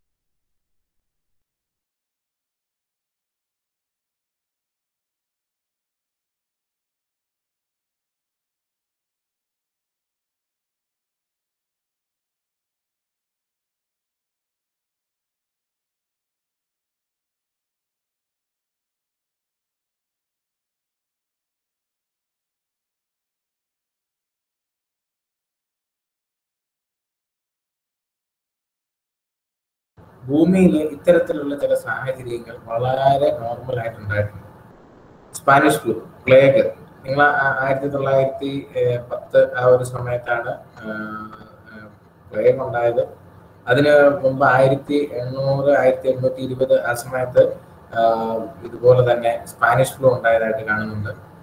പിന്നെ ഈ ലോക മഹായുദ്ധങ്ങളൊക്കെ നടന്ന സമയത്ത് നമ്മൾ കണ്ടു. അതിൽ നിന്നൊക്കെ ജപ്പാൻ പോലുള്ള രാജ്യങ്ങൾ ഞാനിതിപ്പോ വെറുതെ മറ്റേ സന്ദേശ സിനിമയ്ക്കകത്ത് കാണുന്ന പോലെ പോളണ്ടും ജപ്പാനും പറയുമല്ല നമ്മൾ അവിടേക്ക് എത്ര വലിയ ഡിസ്ട്രക്ഷൻ ആണ് ഉണ്ടായത്. ഇപ്പോഴത്തെ സാഹചര്യങ്ങളാണ് ആനന്ദിനെ വല്ലാണ്ട് പുറകോട്ട് വലിക്കുന്നതെങ്കിൽ ഒരു കാരണവശാലും വേണ്ട. ഇത് ഇൻഫാക്ട് ബ്ലെസ്സിങ് ആണെന്ന് ഞാൻ പറയുള്ളൂ. പറയുക അത് ഞാൻ പറഞ്ഞുതരാം. നമ്മളൊരു ചെറിയ ഒരു തിരിഞ്ഞു നോട്ടത്തിന്റെ ഒരു സമയമാണ്. നമ്മൾ എന്താണ് എവിടെയാണ് പുറകിലോട്ട് ഉള്ളത് എന്ന് തിരിച്ചറിയുക. ചിലപ്പോൾ എന്റെ ലാംഗ്വേജ് ആയിരിക്കാം എന്റെ എഴുത്തായിരിക്കാം എന്റെ ഹാൻഡ് റൈറ്റിംഗ് ആവാം. പൊതുവെ സംഭവിക്കുന്നത് എന്താ വെച്ചാൽ നമ്മൾ ഇങ്ങനെ ഒരു ഒഴുക്കിനത്തുള്ള ഒരു പോക്കിൽ തിരിഞ്ഞു നോട്ടത്തിന് സമയം കിട്ടാറില്ല. പറഞ്ഞു വരുമ്പോൾ പണ്ട് പഠിക്കാൻ പറ്റപ്പോൾ മാവിൽ നിറഞ്ഞതാണെന്നൊക്കെ പറയും. തമാശയ്ക്ക് ഇങ്ങനെ പറയാമെങ്കിലും ലൈഫ് സ്കിൽസ് പ്രധാനമായിട്ട് നമ്മുടെ ഹാൻഡ് റൈറ്റിംഗ് നമ്മുടെ ലാംഗ്വേജ് സ്റ്റേജ് ഫ്രൈറ്റിലാണുള്ള സംസാരം ഇന്ററാക്ഷൻ പേഴ്സണാലിറ്റി ഇതെല്ലാം ലൈഫിൽ നടന്നു പോകേണ്ട സമയം കഴിഞ്ഞു പോയി പലപ്പോഴും നമുക്ക് വന്ന സാഹചര്യങ്ങൾ കൊണ്ടൊന്നും നടന്നിട്ടുണ്ടാവില്ല. തിരിഞ്ഞ നോട്ടത്തിനും അതൊക്കെ കറക്റ്റ് ചെയ്ത് മുന്നോട്ട് പോകാനും നമുക്ക് ദൈവം തന്നൊരു ചാൻസ് ആണ് ശരിക്കും. ഈ ഒരു ടൈമിൽ നമുക്ക് ആകെ എല്ലാം ഇതാണല്ലോ എന്ത് ചെയ്യും? അതൊന്നും അല്ല നേരെ തിരിച്ച്. അതാണ് ഞാൻ നേരത്തെ പറഞ്ഞത്. ടേക്ക് എവറിത്തിങ് പോസിറ്റീവ്ലി എല്ലാം പോസിറ്റീവ് തന്നെ നാല് തല്ല് കിട്ടിയാലും പോസിറ്റീവാന്ന് വിചാരിച്ച് വീട്ടിൽ പോകണം എന്നല്ല ഞാൻ പറഞ്ഞത്. അതിനിപ്പോ നല്ല നാല് നാല് നെല്ല് കിട്ടിയാൽ കൊടുക്കാൻ പറ്റുന്നതാണ് അവിടെ നിന്ന് കൊടുത്തോണം. കൊടുക്കാൻ പറ്റുന്നതാണ് അപ്പൊ വീട്ടിൽ പോയിട്ട് പിന്നീട് അതിനെപ്പറ്റി ആലോചിച്ചിട്ട് കൊടുക്കണം. കാരണം അന്നേരം പിന്നെ കൊടുക്കാൻ നിന്നിട്ട് കിട്ടിയിട്ട് പിന്നെ പറഞ്ഞിട്ട് കാര്യമില്ല. എന്ന് പറഞ്ഞതുപോലെ ലൈഫിലെ എല്ലാ സാഹചര്യങ്ങളിലും നമുക്ക് അതിനോട് സംയമനം പാലിച്ച് ചിന്തിച്ച് ചെയ്യാൻ പറ്റുന്ന ഇപ്പൊ കിട്ടുന്ന ഈ ഒരു സമയം ഈ ഒരു ഈ ഒരു സാഹചര്യം ഇത് ലൈഫിലൊരു കറക്ഷന്റെ സമയമാണ്. അനന്തിന് എന്താണോ ആനന്ദ് സംസാരിച്ചത് തന്നെ ആനന്ദ് ഇത്തിരി ഇങ്ങനെ ഡിസപ്പോയിന്റഡ് ആയ പോലെയാണ്. സാർ ഇത് മുന്നോട്ട് എന്താവും എന്ന് പിടിയില്ല. ഇനിയിപ്പോ എന്ത് ചെയ്യണോന്ന് അറിയില്ല. ചെയ്യുന്നതിനെ കുറിച്ച് ഇപ്പൊ ഫൈനൽ ഇയർ ഡിഗ്രിയാണ് ഇപ്പൊ ചിലപ്പോ ചോദിച്ചു ഇനി പോസ്റ്റ് ഗ്രാജുവേഷൻ ചെയ്യണോ? അതേ സിവിൽ സർവീസ് പോലെ എന്തെങ്കിലും കോഴ്സ് ചെയ്യണോ? ഇപ്പോഴത്തെ സാഹചര്യം കണ്ടിട്ടില്ല? ഓരോ പിള്ളേരൊക്കെ വീട്ടിൽ ഇരുന്ന് പത്ത് ഇരുപത് ഡിഗ്രി ഒരുമിച്ച് ഉണ്ടാക്കുകയാണ്. ഒരുപാട് കോഴ്സുകൾ ഒരുപാട് സമയത്ത് ഒരുമിച്ച് അറ്റൻഡ് ചെയ്യുന്നു. കാരണം ഈ സമയത്ത് ലോകം മുഴുവൻ തുറന്നു തന്നിരിക്കുകയാണ്. ആർക്കും എവിടെ നിന്നും വീട്ടിൽ ഇരുന്നും ഒക്കെ എവിടെ എങ്ങനെ വേണമെങ്കിലും പഠിക്കുകയും കോഴ്സുകൾ അറ്റൻഡ് ചെയ്യാൻ സർട്ടിഫിക്കറ്റ് സ്വീകരിക്കുകയും ചെയ്യാം. സോ സാധാരണ നിലയ്ക്ക് ഉള്ള ഒരു സാഹചര്യമാണെങ്കിൽ ഫോറിൻ യൂണിവേഴ്സിറ്റിയിൽ പോയി പഠിക്കണമെങ്കിൽ അതിന് വേണ്ടി രണ്ടു മൂന്ന് കൊല്ലം കുറെ പൈസയും മുടക്കി അവിടെ പോയി തിരിച്ചു വരുന്നതിലും ഇപ്പോൾ ഇതൊക്കെ തന്നിരിക്കുന്ന പോസിറ്റീവായിട്ട് അതിനെ കണ്ടേ എത്ര വലിയ വലിയ കാര്യങ്ങളാണ് പലരും ഓഫ്ലൈൻ ആയിട്ടുള്ള കാര്യങ്ങൾ സ്റ്റോപ്പ് ചെയ്യുന്നതിനെ കുറിച്ച് ചിന്തിക്കുന്നു. അതിന്റെ പോസിറ്റീവ് സൈഡ് ഒക്കെ കണ്ടേ. അപ്പൊ അതുകൊണ്ട് മാത്രമല്ല ഓപ്പർച്യൂണിറ്റി ശരിയാണ് പുറത്തിപ്പോ ചെറിയ സാമ്പത്തിക പ്രശ്നങ്ങളും ജോലി ഇല്ലായ്മയും ഒക്കെ ഉണ്ടാവുന്നുണ്ടാവാം. എന്തും പോസിറ്റീവായിട്ട് കണ്ടേ. ഈ ലോകത്ത് എത്രയോ തവണ ലോകം മുഴുവൻ നശിക്കുന്ന രീതിയിലുള്ള നാച്ചുറൽ കലാമിറ്റീസും യുദ്ധങ്ങളും ഒക്കെ ഉണ്ടായിട്ടുണ്ട്. അതുകൊണ്ട് നമ്മുടെ മനുഷ്യരാശിയെ അന്നം കൊണ്ട് വീട്ടിൽ കയറി കുത്തിയിരുന്ന് നമുക്കങ്ങ് മരിച്ചേക്കാന്ന് പറയാണോ ചെയ്തത്. അല്ല. അതിനെ എല്ലാം ഫൈറ്റ് ഔട്ട് ചെയ്തിട്ടാണ് ഇന്ന് നമ്മൾ ഈ കാണുന്ന ലോകം ഇന്ന് ഇവിടെ നിലനിൽക്കുന്നത്. പത്ത് എഴുപത് വർഷം നമ്മുടെ ആയുസ് കൊള്ളുന്നതല്ല ഈ ജീവിതം എന്ന് പറയുന്നത്. എത്ര എത്ര നൂറ്റാണ്ട് കണക്കിന് മനുഷ്യൻ ഇവിടെ ജീവിച്ച് തെളിയിച്ചു കൊടുത്തതാണ്. അതുകൊണ്ട് ഇന്നലെ ഇങ്ങനെ ഒരു വൈറസ് ഒന്നും വന്ന് ആരെയും അവസാനിപ്പിക്കാനൊന്നും തോന്നില്ല സോ വിൽ കം ഔട്ട് പിന്നെ ഫൈനൽ ഇയർ ഗ്രാജുവേഷനിൽ നിൽക്കുന്ന ആനന്ദിനെ സംബന്ധിച്ചിടത്തോളം ഈ ഒരു സമയം വളരെ നല്ലതാണ്. നന്നായിട്ട് ഇരുന്ന് ചിന്തിച്ച് അപ്പൊ അത് ഒരുപാട് ഫാക്ടേഴ്സ് ആണ്. ആനന്ദിനോട് ജ്യോതിഷ് പറഞ്ഞു തരേണ്ട ഒരു കാര്യമാണ് എന്തായിരിക്കണം എന്റെ മുന്നോട്ടുള്ള ഒരു തീരുമാനം. പോസ്റ്റ് ഗ്രാജുവേഷന് പോകണം അതെങ്കിലും മറ്റേതെങ്കിലും ഫോർ യൂണിവേഴ്സിറ്റിയിലെ വല്ല കോഴ്സസും പെർസ്യൂ ചെയ്യണോ? സിവിൽ സർവീസ് പോലുള്ള എന്തെങ്കിലും നോക്കണോ? അങ്ങനെയാണെങ്കിൽ അതിന് ഉതകുന്ന രീതിയിലുള്ള ഒരു അഡ്മിഷൻ എവിടെയെങ്കിലും എടുക്കണം. അതിന് ഉതകുന്ന രീതിയിലുള്ള പഠനം ഇപ്പോൾ ആരംഭിക്കണം. ഞാൻ എന്റെ കോളേജിൽ തന്നെ പോസ്റ്റ് ഗ്രാജുവേഷൻ ഇവിടെ ഉണ്ടെന്ന് ഞാൻ വിശ്വസിക്കുന്നു. ചെയ്യണോ? അങ്ങനെയെങ്കിൽ ഞാൻ ഈ കോളേജിൽ തന്നെ ഇവിടുത്തെ ടീച്ചേഴ്സും ഇവിടുത്തെ ഫ്രണ്ട്സും ഇവിടുത്തെ സപ്പോർട്ടും ഇവിടുത്തെ ലൈബ്രറിയൊക്കെ യൂസ് ചെയ്ത് അതിനോട് കൂടി ചേർന്ന് ഞാൻ മറ്റെന്തെങ്കിലും കൂടെ ആലോചിക്കാം. അപ്പൊ ഈ ക്ലാസ്സും ഇതും അറ്റൻഡ് ചെയ്യുന്ന കൂടെ ഞാൻ വേണമെങ്കിൽ ഒരു കോമ്പറ്റേറ്റീവ് എക്സാമിനേഷൻ സിവിൽ സർവീസ് പോലുള്ള എന്തെങ്കിലും കുറിച്ച് ആലോചിക്കാം. അതല്ല എന്റെ മറ്റൊരു ലക്ഷ്യമാണ് എനിക്കുള്ളതെങ്കിൽ അതിനെക്കുറിച്ച് ഞാൻ ആലോചിച്ചുകൊണ്ട് ഇപ്പോഴേ ഇനി ടീച്ചിങ് ആണോ ഡോക്ടറേറ്റ് എടുക്കണോ നെറ്റ് എഴുതണോ അതിന് വേണ്ടിയിട്ട് ഇപ്പോഴേ പ്രിപ്പയർ ചെയ്യാം. എക്സ്ട്രാ കിട്ടുന്ന ടൈം അതിലേക്ക് നമ്മൾ അത് എങ്ങനെയാണ് പ്രിപ്പയർ ചെയ്യേണ്ടതെന്ന് അറിയാം. അതിന് വേണ്ടിയിട്ടുള്ള വായനകൾ തുടങ്ങാം. അതിന് വേണ്ടിയിട്ടുള്ള നോട്ട്സ് എഴുതൽ തുടങ്ങാം. അങ്ങനെ ഈ ഒരു സമയം നമുക്ക് വീണ് കിട്ടിയ നമ്മുടെ ജീവിതത്തിൽ ഒരുപക്ഷെ ഇതിനു മുമ്പുള്ള തലമുറകൾക്കൊക്കെ കിട്ടാതെ പോയ ഒരു അസുലഭ സന്ദർഭമാണ് ഞാൻ പറയുന്നത് എല്ലാം തിരുത്താനും ആരും അറിയാതെ ഒരു തിരിഞ്ഞു നോട്ടത്തിന് പോകാനും കിട്ടിയ ഒരു അസുലഭ സന്ദർഭം. കാരണം മറ്റേതെന്ന് പറഞ്ഞ ഒരു ഒഴുക്ക. നമുക്ക് തിരിഞ്ഞു നിൽക്കാൻ സമയമില്ല. ഇപ്പൊ ആ ഒഴുക്കൊന്ന് തൽക്കാലത്തേക്ക് ശാന്തമായിരിക്കുകയാണ്. തൽക്കാലത്തേക്ക്. ഒന്ന് തിരിഞ്ഞു നോക്കാം. എവിടെയൊക്കെയാണോ നമുക്ക് നഷ്ടപ്പെട്ടത്? അതൊക്കെ ഒന്ന് തിരുത്തി തിരിച്ചോടി പഴയ സ്ഥലത്ത് ഒന്ന് നിന്ന് ലക്ഷ്യത്തിലേക്ക് ഒഴുകാനുള്ള ഒരു ചെറിയ ടൈം ഗ്യാപ്പ് അത്രേ ഉള്ളൂ. അങ്ങനെ ആ നിലയിൽ ഇതിനെ കാണുക. ആ രീതിയിൽ ഇന്ന് തന്നെ ഒരു ദിവസം വൈകിക്കണ്ട ഇന്ന് തന്നെ വളരെ നല്ല ഉറച്ച ഒരു തീരുമാനം എടുക്കുക. അതിനു വേണ്ടിയിട്ടുള്ള വായനകൾ ഒന്നും തോന്നുന്നില്ലേ? ഇന്നൊന്ന് ബുക്കൊക്കെ വായിക്കുക ഭയങ്കര മാറ്റമുണ്ട്. അല്ലെങ്കിൽ ഇതുപോലെ എന്തെങ്കിലുമൊക്കെ പങ്കെടുക്കുക ഭയങ്കര മാറ്റമുണ്ട്. ലൈഫിൽ മാറ്റം ഒരു സ്പാർക്ക് എന്നൊക്കെ ഞാൻ പറഞ്ഞില്ലേ? എന്തിനാന്ന് പറയാൻ പറ്റത്തില്ല. ചിലപ്പോൾ കറണ്ട് അടിച്ചാൽ നന്നാവും പറഞ്ഞിട്ടില്ല ചില സാധനം എപ്പോൾ എവിടുന്നാ വരുന്നതെന്ന് പറയാൻ പറ്റത്തില്ല. അതുകൊണ്ട് അങ്ങനെ എന്തെങ്കിലുമൊക്കെ നമ്മൾ വരണമെങ്കിൽ അതിൽ കറണ്ട് അടിക്കണമെങ്കിൽ അതിൽ പോയിട്ടൊന്ന് തൊടണ്ടേ? അപ്പൊ അതും കൂടെ എന്റെ മേത്ത് വന്നിട്ട് അടിച്ചോട്ടെ എന്ന് പറഞ്ഞാൽ നടക്കില്ല സോ ഡു സംതിങ് ഒന്നും ചെയ്യാൻ ഇരിക്കണ്ട. ഡു സംതിങ് ഈ മൊബൈലിൽ ടി വി അതിൽ കണ്ടിങ്ങനെ പലവരുടെ ക്രിയേറ്റിവിറ്റി നമ്മൾ കണ്ടുകൊണ്ടിരിക്കുന്നതിന് പകരം സംതിങ് ക്രിയേറ്റ് ആരും ചെയ്യുന്നില്ല എന്നല്ല. Maybe doing something do something think something out of the okay okay. Sir. Thank you.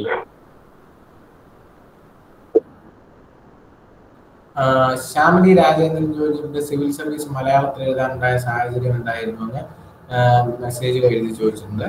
അത് ഞാൻ നേരത്തെ പറഞ്ഞതുപോലെയാണ് everything should be a strategic decision in your life എന്നെ സംബന്ധിച്ച് ഞാൻ ഇംഗ്ലീഷ് മീഡിയത്തിൽ പഠിച്ച ആളാണ്. ജവഹർ നവോദയ വിദ്യാലയ എന്ന് പറയുന്നത് ഗവൺമെന്റ് സപ്പോർട്ടഡ് ഇംഗ്ലീഷ് മീഡിയം സ്കൂളാണ് അപ്പം അവിടെ സി ബി എസ് സിയിൽ ഇംഗ്ലീഷ് മീഡിയത്തിൽ പഠിച്ച ഞാൻ മലയാളത്തിൽ എഴുതാനുണ്ടായ സാഹചര്യം എന്റെ ഓപ്ഷൻസ് മലയാള ലിറ്ററേച്ചറും ഹിസ്റ്ററിയുമായിരുന്നു ആ ഓപ്ഷൻസ് തിരഞ്ഞെടുക്കാനുണ്ടായ സാഹചര്യം പോലും ഇങ്ങനെ ഒരു സ്ട്രാറ്റജിക്കായിരുന്നു കാരണം ഞാൻ മലയാള ലിറ്ററേച്ചർ എഴുതണമെങ്കിൽ എന്തെങ്കിലും മലയാളം ഭേദമാണ്. ഇംഗ്ലീഷ് മീഡിയത്തിൽ പഠിച്ച എന്റെ അവസ്ഥ ഏതൊരു മലയാളിയുടെയും ഇംഗ്ലീഷ് മീഡിയത്തിൽ പഠിച്ച അവസ്ഥയാണ്. കാരണം മലയാളം നേരെവേ അറിയില്ല ഇംഗ്ലീഷ് നേരെവേ അറിയില്ല. ഉള്ള കാര്യം മലയാള ലിറ്ററേച്ചർ എടുക്കാൻ തീരുമാനിച്ചിരിക്കുകയെങ്കിൽ എന്തായാലും മലയാളം ഭംഗിയാക്കിയേ പറ്റുള്ളൂ മലയാളം ലിറ്ററേച്ചറിന് വേണ്ടി മലയാളം ഭംഗിയാക്കണം മുഴുവൻ പരീക്ഷ എഴുതാൻ മീഡിയം ഓഫ് ലാംഗ്വേജ് ഇംഗ്ലീഷും വൃത്തിയാക്കണം രണ്ടിനും കൂടെയുള്ള സമയം എന്റെ ഇല്ലാത്തതുകൊണ്ട് ഇങ്ങനെ ഒരു ഓപ്ഷൻ ഉണ്ടായിരുന്നു എന്ന് അറിഞ്ഞ് അത് തിരിച്ചറിഞ്ഞ് അതിലേക്ക് ഇറങ്ങുകയായിരുന്നു അങ്ങനെ മലയാളത്തിൽ സിവിൽ സർവീസ് എഴുതാൻ തീരുമാനിച്ചു because one of my option was Malayala literature my another optional I decided because when medium of language is Malayalam history will be comparatively an easy subject to write in Malayalam as medium language. അതാണ് history second option എടുക്കാനും തീരുമാനം. ഇങ്ങനെ strategic ആണ് decision മനസ്സിലായോ? നമ്മൾ പണ്ടുള്ള ഒരു പറയത്തില്ലേ കാറ്റുള്ളപ്പോ തുണി ഉണക്കുക എന്നൊക്കെ പറയുന്നത് മാതിരി നമ്മൾ ആ സാഹചര്യത്തിനനുസരിച്ച് ഒരു ഡിസിഷൻ എടുക്കുക. അതാണ് സ്ട്രാറ്റജിക് ഡിസിഷൻ എന്ന് പറയുന്നത്. അല്ലാണ്ട് നമ്മൾ മറക്കട മുഷ്ടി എന്റെ ഇങ്ങനെയാണ് ശീലം. രാവിലെ എനിക്ക് കാപ്പി കിട്ടിയേ പറ്റുള്ളൂ എന്ന് പറഞ്ഞിട്ട് ഇവിടെ പ്രളയം വന്നുകൊണ്ടിരിക്കുമ്പോൾ കാപ്പി വേണമെന്ന് പറഞ്ഞുകൊണ്ടിരുന്നു കഴിഞ്ഞാൽ അതിൽ വേണം തട്ടിപ്പോകും. സോ നമ്മളുടെ അത്തരത്തിലുള്ള പിടിവാശികളും പിടിമുറുക്കങ്ങളും ഒക്കെ വിട്ടിട്ട് ഫ്ലെക്സിബിൾ ആയിട്ട് ചിന്തിക്കുകയും സാഹചര്യത്തിനനുസരിച്ച് അപ്പം എടുക്കേണ്ട ഒരു ഡിസിഷൻ എടുത്ത് പെട്ടെന്ന് മുമ്പോട്ട് ഫോർവേഡ് പോവാൻ ചെയ്യാനെന്നുള്ളതാണ് സ്ട്രാറ്റജി എന്ന് പറയുന്നത്. പണ്ട് യുദ്ധം എന്നൊക്കെ പറയുന്ന യുദ്ധത്തിൽ അമ്പ് വരുമ്പോഴത്തേക്കും ആലോചിച്ചുകൊണ്ടിരിക്കുമ്പോൾ അമ്പ് വന്ന് പോയി കഴിയും. അപ്പോഴത്തേക്കും തീരും അമ്പ് വരുന്നതിന് മുമ്പ് അവൻ നിന്ന് അമ്പ് പിടിക്കുമ്പോഴേ നമ്മൾ ഇവിടെ അടുത്ത സ്റ്റെപ്പ് ആലോചിച്ചാലേ സ്ട്രാറ്റജിക്കലി നമുക്ക് നിലനിൽക്കാൻ പറ്റുള്ളൂ. ഇന്നത്തെ ലോകം അങ്ങനെയാണ് അതുകൊണ്ട് മലയാളത്തിൽ എഴുതുക എന്നുള്ളത് എന്നെ സംബന്ധിച്ച് ഒരു സ്ട്രാറ്റജി ആയിരുന്നു even though in civil service administrative language is English So here on my table, all my uh, files, all my books, all my tax law, uh, means, uh, tax act, everything is in English. So basically, I am supposed to learn English. So even in civil services, there are two compulsory papers. One is English and one is your mother tongue. So you have to pass that compulsory paper. Then only your main papers will be evaluated. So English വേണ്ടാന്നല്ല. Basic minimum English പത്താം class degree കഴിഞ്ഞ് ഏതോ ഒരു മലയാളിക്കും നന്നായിട്ട് English അറിയാം പ്രത്യേകിച്ച് നമ്മുടെ competition കൂടുതൽ north Indians അവരെയൊക്കെ എത്രയും ബെറ്റർ സ്കൂളിങ്ങും കോളേജുമാണ് കേരളത്തിലുള്ളത്. യു ഷുഡ് നോ ദാറ്റ് നമ്മളെ സംബന്ധിച്ച് നമുക്ക് എന്തോ ഇൻഫീരിയോറിറ്റി കോംപ്ലക്സ് ആണ്. Actually we are much superior to others first of all നമുക്ക് ആ കോൺഫിഡൻസ് വേണം. ഉം. ഉണ്ടായ സാഹചര്യം ഇതാ മനസ്സിലായില്ലേ? പിന്നെ ഞാൻ എല്ലാം പറഞ്ഞു എനിക്ക് നീണ്ടു പോകും രാമറായി എനിക്ക് ഇപ്പൊ അടുത്തൊരു മീറ്റിംഗ് കൂടെ കഴിഞ്ഞിട്ട് വേണം വീട്ടിൽ പോകാൻ കുഞ്ഞ് രണ്ട് പിള്ളേരുണ്ട് വീട്ടിൽ അപ്പൊ അതുകൊണ്ട് എനിക്ക് തോന്നുന്നു ചോദിച്ച ചോദ്യത്തിന് ഞാൻ ഏകദേശം മലയാളത്തിൽ ഉണ്ടായ സാഹചര്യം ഇതാണ്. Okay okay. നന്ദിത നമുക്ക് വൈൻഡപ്പ് ചെയ്യാം നന്ദിത. സാറിന് ഇപ്പൊ എന്തായാലും ഫ്രീ ആകാം. നന്ദിത? Okay sir. അടുത്ത Okay. വോട്ട് ഓഫ് താങ്ക്സ് പറയാനായിട്ട് ക്വിസ് ക്ലബിന്റെ മറ്റൊരു സ്റ്റുഡന്റ് കോർഡിനേറ്റർ ആയ ടോണി ജോസിനെ ക്ഷണിക്കുന്നു Thank you, Nandita. Good evening to all. I deem it a great honor and privilege to propose the vote of thanks on this memorable occasion. Let me first of all start by giving glory to Almighty God by making today's occasion a resounding success, even though at this pandemic time through this online platform. First and foremost, I thank our chief guest of the day, Sriman Jyotish Mohan IRS, Joint Commissioner of Income Tax Kochi, who, bis- who despite his busy schedule had found time to grace this occasion. His valuable thoughts have been a motivating factor for the young bloods to take up a career in civil service. I thank our principal, Dr. Shaini Palati, for her constant support and encouragement. My heartfelt thanks to faculty coordinators for their va- valuable contribution, guidance, and support to make this function a colorful. I also wish to express my gratitude to all teachers for joining in this meeting and showing your support.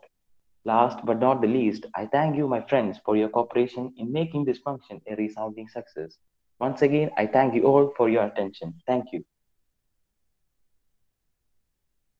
Jyothi സാറേ അപ്പൊ thank you thank you very much thank you Manish thank you all okay thank you ഇന്ന് എനിക്ക് തോന്നുന്നു interaction ഒക്കെ കുറച്ച് ഒന്ന് രണ്ട് പേരെ ആൻസർ ചെയ്യാൻ so uh, I look forward that again on another occasion we can make an interactive, proper interactive session when you people are free. So I'm uh, anytime I will be available. So thank you, thanks for such a nice opportunity. Thank you, sir.